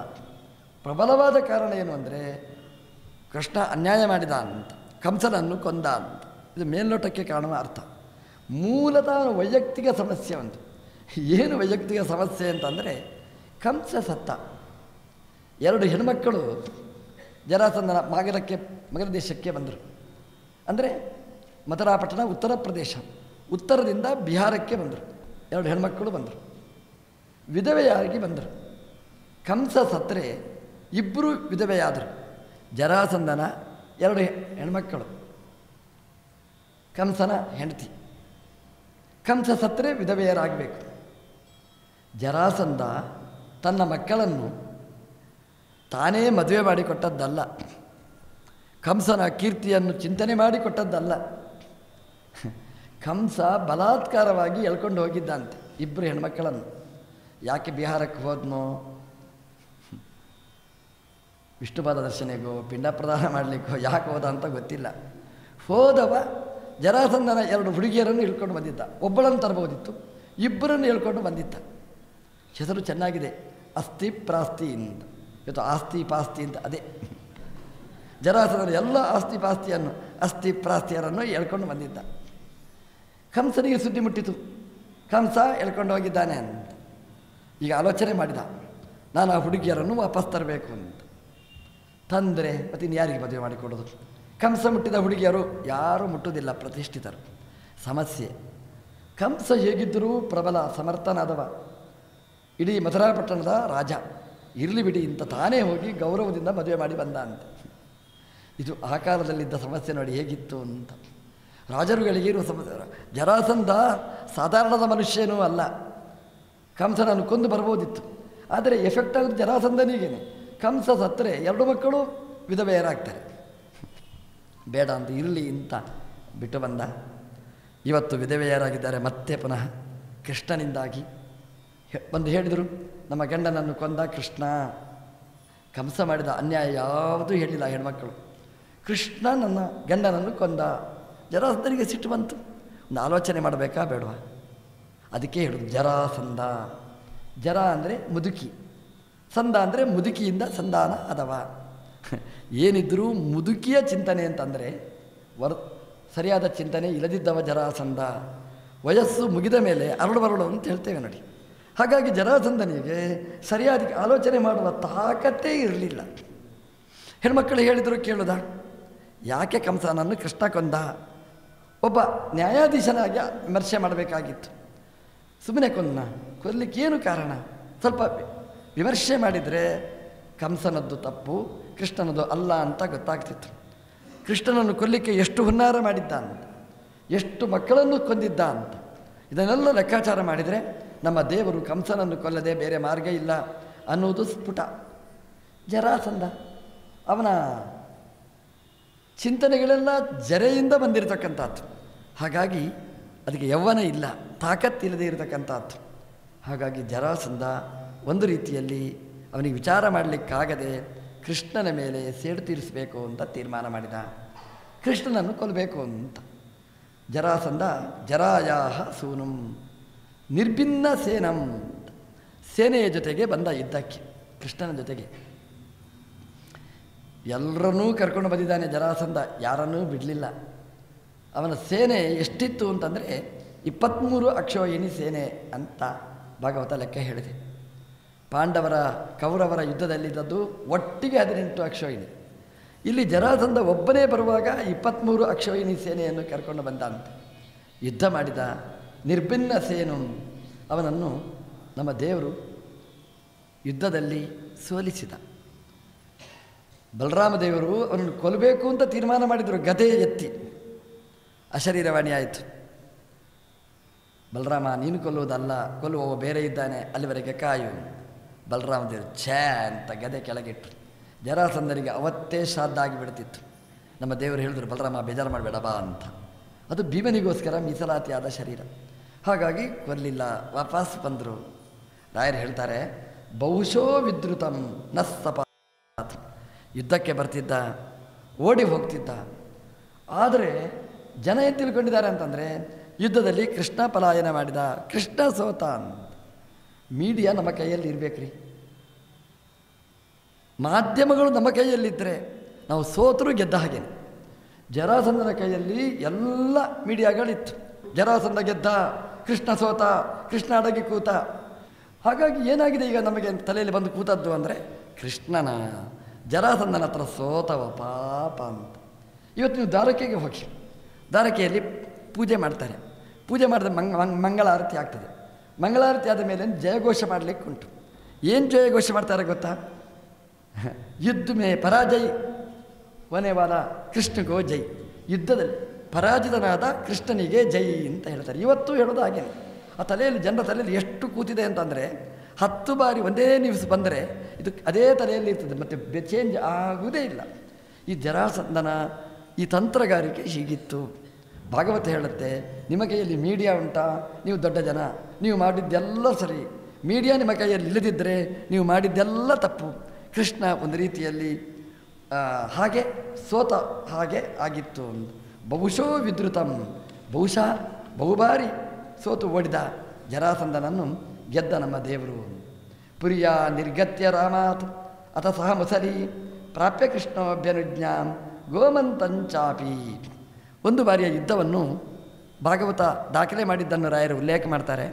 ಒಂದು ಸಲ ಜರಾಸಂದ ದಾಳಿ ಇನ್ನೊಂದು ಸಲ ಬಂದ ದಂಡೆತ್ತಿ ಬಂದ. ಭಾರೀ ಸೇನೆಯ ಜೊತೆಗೆ ಬಂದ. ನಮ್ಮ ದೇವರು ಬಲರಾಮ ದೇವರ ಜೊತೆಗೆ ಓಡಿ ಹೋದ ಅಂತ ಯಾಕೆಂದರೆ ಅಶರೀರವಾಣಿಯಾಗಿದೆ. ಜರಾಸಂದನನ್ನು ಕೊಲ್ಲಿಕ್ಕಿಲ್ಲ. ಮತ್ತೆಂತದರೆ ಯುದ್ಧ? ಯುದ್ಧ ಅಂದರೆ ಅವನು ಮುಗಿಸಿಬಿಡ್ಬೋದಿತ್ತು ಜರಾಸಂದನನ್ನು ಕೊಲ್ಲಿಕ್ಕಿಲ್ಲ. ಯಾಕೆಂದರೆ ಭೀಮನೇ ಕೊಲ್ಲಬೇಕು ಅಂತ ವಾರ್ನಿಂಗ್ ಆಗಿತ್ತು. ಹಾಗಾಗಿ ಅವನು ಕೊಲ್ಲಿಕ್ಕಿಲ್ಲ. ಮತ್ತೇನು ಮಾಡಬೇಕು ಹಾಗಾದರೆ? ಓಡಬೇಕು. ಗೋಮಂತ ಪರ್ವತಕ್ಕೆ ಓಡಿದ ಅಂತ ಗೋಮಂತಕ್ಕೆ, ಪರ್ವತಕ್ಕೆ ಹೋಗಿ ಭಗವಂತ ಅಲ್ಲಿ ವಾಸ ಮಾಡಿದ ಅಂತ ಹೇಳ್ತಾರೆ. ಗೋಮಂತ ಪರ್ವತದಲ್ಲಿ ನಮ್ಮ ದೇವರಿದ್ದ ದೇವತೆಗಳೆಲ್ಲ ಬಂದಿದ್ದರಂತೆ, ಒಂದು ಸಭೆ. ನಮ್ಮ ದೇವರು ಅವನು ಮಲಗಿದ ಅಂತೆ ಮಲಗುವುದಂದರೆ ತುಂಬ ಇಷ್ಟ ನಮ್ಮ ದೇವರಿಗೆ. ನೀವೆಲ್ಲಾದರೂ ನೋಡಿ ತ್ರಿವೇಂದ್ರಂ ಹೋಗಿ ದೇವರು ಮಲಗಿದ್ದಾನೆ. ನೀವು ಶ್ರೀರಂಗಕ್ಕೆ ಹೋಗಿ ದೇವರು ಮಲಗಿದ್ದಾನೆ. ದೇವರಿಗೆ ಮಲಗುವುದು ಅಂದರೆ ತುಂಬ ಇಷ್ಟ. ಯಾರು ಮಲಗ್ತಾರೆ ಹೇಳಿ? ಒಂದೋ ಸೋಮಾರಿಗಳು. ಒಂದೋ ಎಲ್ಲ ಕೆಲಸ ಪರ್ಫೆಕ್ಟಾಗಿ ಮಾಡಿ ಬರುವವರು. ನಮ್ಮ ದೇವರು ಯಾವ್ಯಾವ ಕಾಲಕ್ಕೆ ಏನೇನು ಕೆಲಸ ಮಾಡಬೇಕೋ ಅದನ್ನು ಪರ್ಫೆಕ್ಟಾಗಿ ಮಾಡಿದ್ದರಿಂದ ಆನಂದಮಯನಾಗಿರುವವ ಗೋಮಂತ ಪರ್ವತಕ್ಕೆ ಹೋದರೆ ನಮ್ಮ ದೇವರು ಅಲ್ಲಿ ಮಲಗಿದಂತೆ. ಬಲಿ ಅಲ್ಲಿದ್ದ. ಯಾಕೆ ಬಂದೋ ಗೊತ್ತಿಲ್ಲ. ಅವನೂ ಭಾಗವಹಿಸಿದ್ದ. ಅಲ್ಲಿ ಮಲಗಿದ್ರೆ ದೇವರು ವೈಕುಂಠ ಲೋಕದಲ್ಲಿಯೂ ಮಲಗಿದ್ದ. ವೈಕುಂಠ ಲೋಕದಲ್ಲಿ ದೇವತೆಗಳೆಲ್ಲ ಇದ್ದರು ದೇವತೆಗಳಲ್ಲಿದ್ದರೆ ದೇವರ ತಲೆಯ ಮೇಲೆಂದು ಭವ್ಯವಾದ ಕಿರೀಟ ಇತ್ತಂತೆ. ನವರತ್ನ ಖಚಿತವಾದಂತಹ ಕಿರೀಟ. ಭಾಗವತಲ್ಲಿ ವರ್ಣನೆ ಮಾಡ್ತಾರೆ, ಒಂದೊಂದು ಕಲ್ಲು ಮಣಿ, ಅದು ಹೇಗಿತ್ತು ಅಂತಂದರೆ ಎಂಥವರ ಕಣ್ಣನ್ನು ಕೊರೈಸಬೇಕು. ಈ ಬಲಿ ಕೂತಿದ್ದ. ಅವನ ಕಣ್ಣಿಗೆ ನೋಡಲಿಕ್ಕಾಗಲಿಲ್ಲ ಅಂತ. ಇದನ್ನು ಕದಿಬೇಕು ಅಂತ ಅನಿಸ್ತಂತೆ. ಬಲಿಗೆ ಕದಿಬೇಕು ಅಂತ ಯಾವಾಗ ಕಾಣಿಸ್ತು? ನಮ್ಮ ದೇವರು ಸಿ ಸಿ ಕ್ಯಾಮರಾದಲ್ಲಿ ನೋಡಿದ, ಬಲಿಗಿದು ಬೇಕು ಅಂತ. ಬಲಿಗಿದು, ಬಲಿ ಕೊಡಲಿಕ್ಕಿದ್ದಾನೆ ಅಂತ. ನಮ್ಮ ದೇವರು ದೇವತೆಗಳಿಗೆ ಕಣ್ಣು ಮುಚ್ಚಿದ ಅಂತ. ದೇವರು ಕಣ್ಣು ಮುಚ್ಚಿದರೆ ಕಣ್ಣು ಮುಚ್ಚಿ ಅಂತ ಅರ್ಥ. ಅನಿಮಿಷರಾದ ದೇವತೆಗಳು ಕಣ್ಣು ಮುಚ್ಚಿದರಂತೆ. ನಮ್ಮ ದೇವರದ್ದು ಲೀಡರ್ಶಿಪ್ ಹೇಗಿತ್ತು ಅಂತ. ಕಣ್ಣು ಮುಚ್ಚಿ ಅಂದರೆ ದೇವತೆಗಳೆಲ್ಲ ಕಣ್ಣು ಮುಚ್ಚಿದರು. ಎಂದೆಂದೂ ಕಣ್ಣು ಮುಚ್ಚದೇ ಇದ್ದ ಅನಿಮಿಷರು ಕಣ್ಣು ಮುಚ್ಚಿದರು. ಬಲಿ ನೋಡಿದ ಎಲ್ಲರೂ ನಿದ್ದೆ ಮಾಡ್ತಾ ಇದ್ದಾರೆ ಅಂತ ತಿಳ್ಕೊಂಡ. ದೇವರ ತಲೆಯ ಮೇಲಿದ್ದ ಕಿರೀಟವನ್ನು ಹಾರಿಸಿಕೊಂಡು ಹೋದ ದೇವರು ಕಣ್ತೆರೆದು ನಕ್ಕ ಅಂತೆ. ಎಲ್ಲ ಎದ್ರು ನಕ್ಕರು ಖುಷಿ ಅವರಿಗೆ. ನೋಡಿ, ಕಳ್ಳ, ರೆಡ್ ಹ್ಯಾಂಡಾಗಿ ಸಿಕ್ಕಿದ. ಅವನು ಹಿಡ್ಕೊಂಡು ಹೋಗಿ ಸುತಲ ತನಕ ಹೋದ ಅಂತ. ದೇವರು ನಕ್ಕ, ಅದು ಹೇಗೆ ಗೊತ್ತಾಯಿತೋ ಗರುಡನಿಗೆ. ಗರುಡ ದೇವರ ಹತ್ರ ಕೇಳಿದ, ಏನು ಮಾಡಲಿ? ತಾ ಅಂತ ಹೇಳಿದಂತೆ ಗರುಡ ಆ ಕಿರೀಟವನ್ನು ತಾ ಅಂತಂದರೆ ಸುತಲಕ್ಕೆ ಹೋಗಿ, ಅಲ್ಲಿಂದ ಕಿರೀಟವನ್ನು ಹಿಡ್ಕೊಂಡು ಬಂದು ದೇವರ ವೈಕುಂಠದಲ್ಲಿ ಭಗವಂತನ ತಲೆಗಿಟ್ಟಂತೆ. ಗರುಡ ಮತ್ತೆ ಗೋಮಂತ ಪರ್ವತಕ್ಕೆ ಬಂದಂತೆ. ನಮ್ಮ ದೇವರ ತಲೆಯ ಮೇಲೆ ಇಟ್ಟಂತೆ. ಸರಿ ಕೂತ್ಕೊಂಡಿತಂತೆ ದೇವತೆಗಳಿಗೆಲ್ಲ ಖುಷಿ ಆಯ್ತಂತೆ. ವೈಕುಂಠದಲ್ಲಿದ್ದ ಭಗವಂತನ ತಲೆಯ ಸುತ್ತಳತೆ, ಕೃಷ್ಣನ ತಲೆಯ ಸುತ್ತಳತೆ ಎರಡೂ ಒಂದೇ. ನಾವು ಟೊಪ್ಪಿ ಮಾಡ್ತಾರೆ ನೋಡಿ ಸರ್ಕಾರದಲ್ಲೆಲ್ಲ ಟೊಪ್ಪಿ ಹಾಕಲಿಕ್ಕೆ ಅಂತ. ಒಬ್ಬರದೊಬ್ಬರಿಗೆ ಆಗೋದೇ ಇಲ್ಲ. ಫೋಟೋ ತೆಗೆದಾಗಲೇ ಗೊತ್ತು ನಮಗೆ. ಅಯ್ಯೋ, ಇದು ಯಾರ್ದೋ ಟೊಪ್ಪಿ ಯಾರಿಗೂ ಹಾಕಿದ್ದಾರೆ ಅಂತ. ನೋಡಿ ಕೃಷ್ಣ, ಆ ವೈಕುಂಠದಲ್ಲಿದ್ದ ಭಗವಂತನ ತಲೆಯಲ್ಲಿದ್ದ ಕಿರೀಟ ಮತ್ತೊಂದು ರೂಪದಿಂದ ಇಲ್ಲಿಟ್ಟರೆ ಒಂದೇ ಸೈಜ್ ಒಂದೇ ಅಳತೆ. ನೇಹನಾನ ಅಸ್ತಿ ಕಿಂಚನ, ಆ ರೂಪ ಬೇರೆ ಅಲ್ಲ, ಈ ರೂಪ ಬೇರೆ ಅಲ್ಲ ಅನ್ನೋದು ಸಿದ್ಧಾಯಿತು ಗರುಡ ಬಲಿಯನ್ನು ಸೋಲಿಸಿ ಆ ಕಿರೀಟವನ್ನು ತಂದುಕೊಟ್ಟ. ನೋಡಿ, ಅವತ್ತು ಭಗವಂತನ ಕಾಲದಲ್ಲಿ ಆ ಸಿ ಐ ಡಿ ಥರ ಎಷ್ಟು ಚೆನ್ನಾಗಿತ್ತು. ಒಂದು ವಸ್ತು ಕಳ್ಳತನ ಆದರೆ ಕಣ್ಣು ಮುಚ್ಚಿ ತೆಗೆಯುವುದರ ಒಳಗೆ ಆ ವಾಪಸ್ ತರಲಿಕ್ಕಾಗ್ತಿತ್ತು. ಗರುಡ ಎಷ್ಟು ಪರ್ಫೆಕ್ಟ್ ನಮ್ಮ ದೇವರದು ವಸ್ತು ಅಷ್ಟೂ ವಾಪಸ್ ಬಂತು. ಭಾಗವತ ಹೇಳುತ್ತೆ, ಗರುಡನನ್ನು ನಾವು ಸ್ಮರಣೆ ಮಾಡಿದರೆ ಗರುಡಧ್ವಜನ ಚಿಂತನೆ ಮಾಡಿದರೆ ನಮ್ಮ ವಸ್ತುವನ್ನು ಭಗವಂತ ರಕ್ಷಣೆ ಮಾಡ್ತಾನೆ ಅಂತ. ಪುರಿಯಾಹ ನಿರ್ಗತ್ಯ ರಾಮಾತ್ ಸಹ ಮುಸಲಿ ಪ್ರಾಪ್ಯ ಕೃಷ್ಣೋಭ್ಯನುಜ್ಞಾನ್ ಗೋಮಂತಂಚಾಪಿ ಮೌಲಿಂ ಕಗಪತಿ ವಿಹಿತನ್ ವಾಸುದೇವಂಚ ಹೀಗೆ ಹೇಳಿ ಭಗವಂತನಿಗೆ ಅದನ್ನು ಮುಟ್ಟಿಸಿದ ಆ ಕೀರ್ತಿಯನ್ನು ಹೇಳ್ತಾ, ಅದರ ಮುಂದಿನ ಘಟ್ಟ, ಅದರಲ್ಲಿ ನಮ್ಮ ದೇವರು ಮಧುರೆಯಿಂದ ಎಲ್ಲ ಇಡೀ ಜನರನ್ನು ಕರ್ಕೊಂಡು ದ್ವಾರಕೆಗೆ ಹೋಗತಕ್ಕಂತಹ ಘಟ್ಟ, ಯಾಕೆ ಹೋದ ದ್ವಾರಕೆಗೆ, ಹೇಗೆ ಹೋದ, ಇಷ್ಟು ಜನರನ್ನು ಅದನ್ನು ಭಾಗವತ ಉಲ್ಲೇಖ ಮಾಡಿದ್ದನ್ನು ರಾಯರು ಸಂಗ್ರಹ ಮಾಡಿದ್ದಾರೆ. ಮತ್ತೆ ನಾಳೆ ಸೇರಿದಾಗ ನೋಡೋಣ ಅಂತ ಹೇಳ್ತಾ ಪ್ರವಚನವನ್ನು ಕೃಷ್ಣ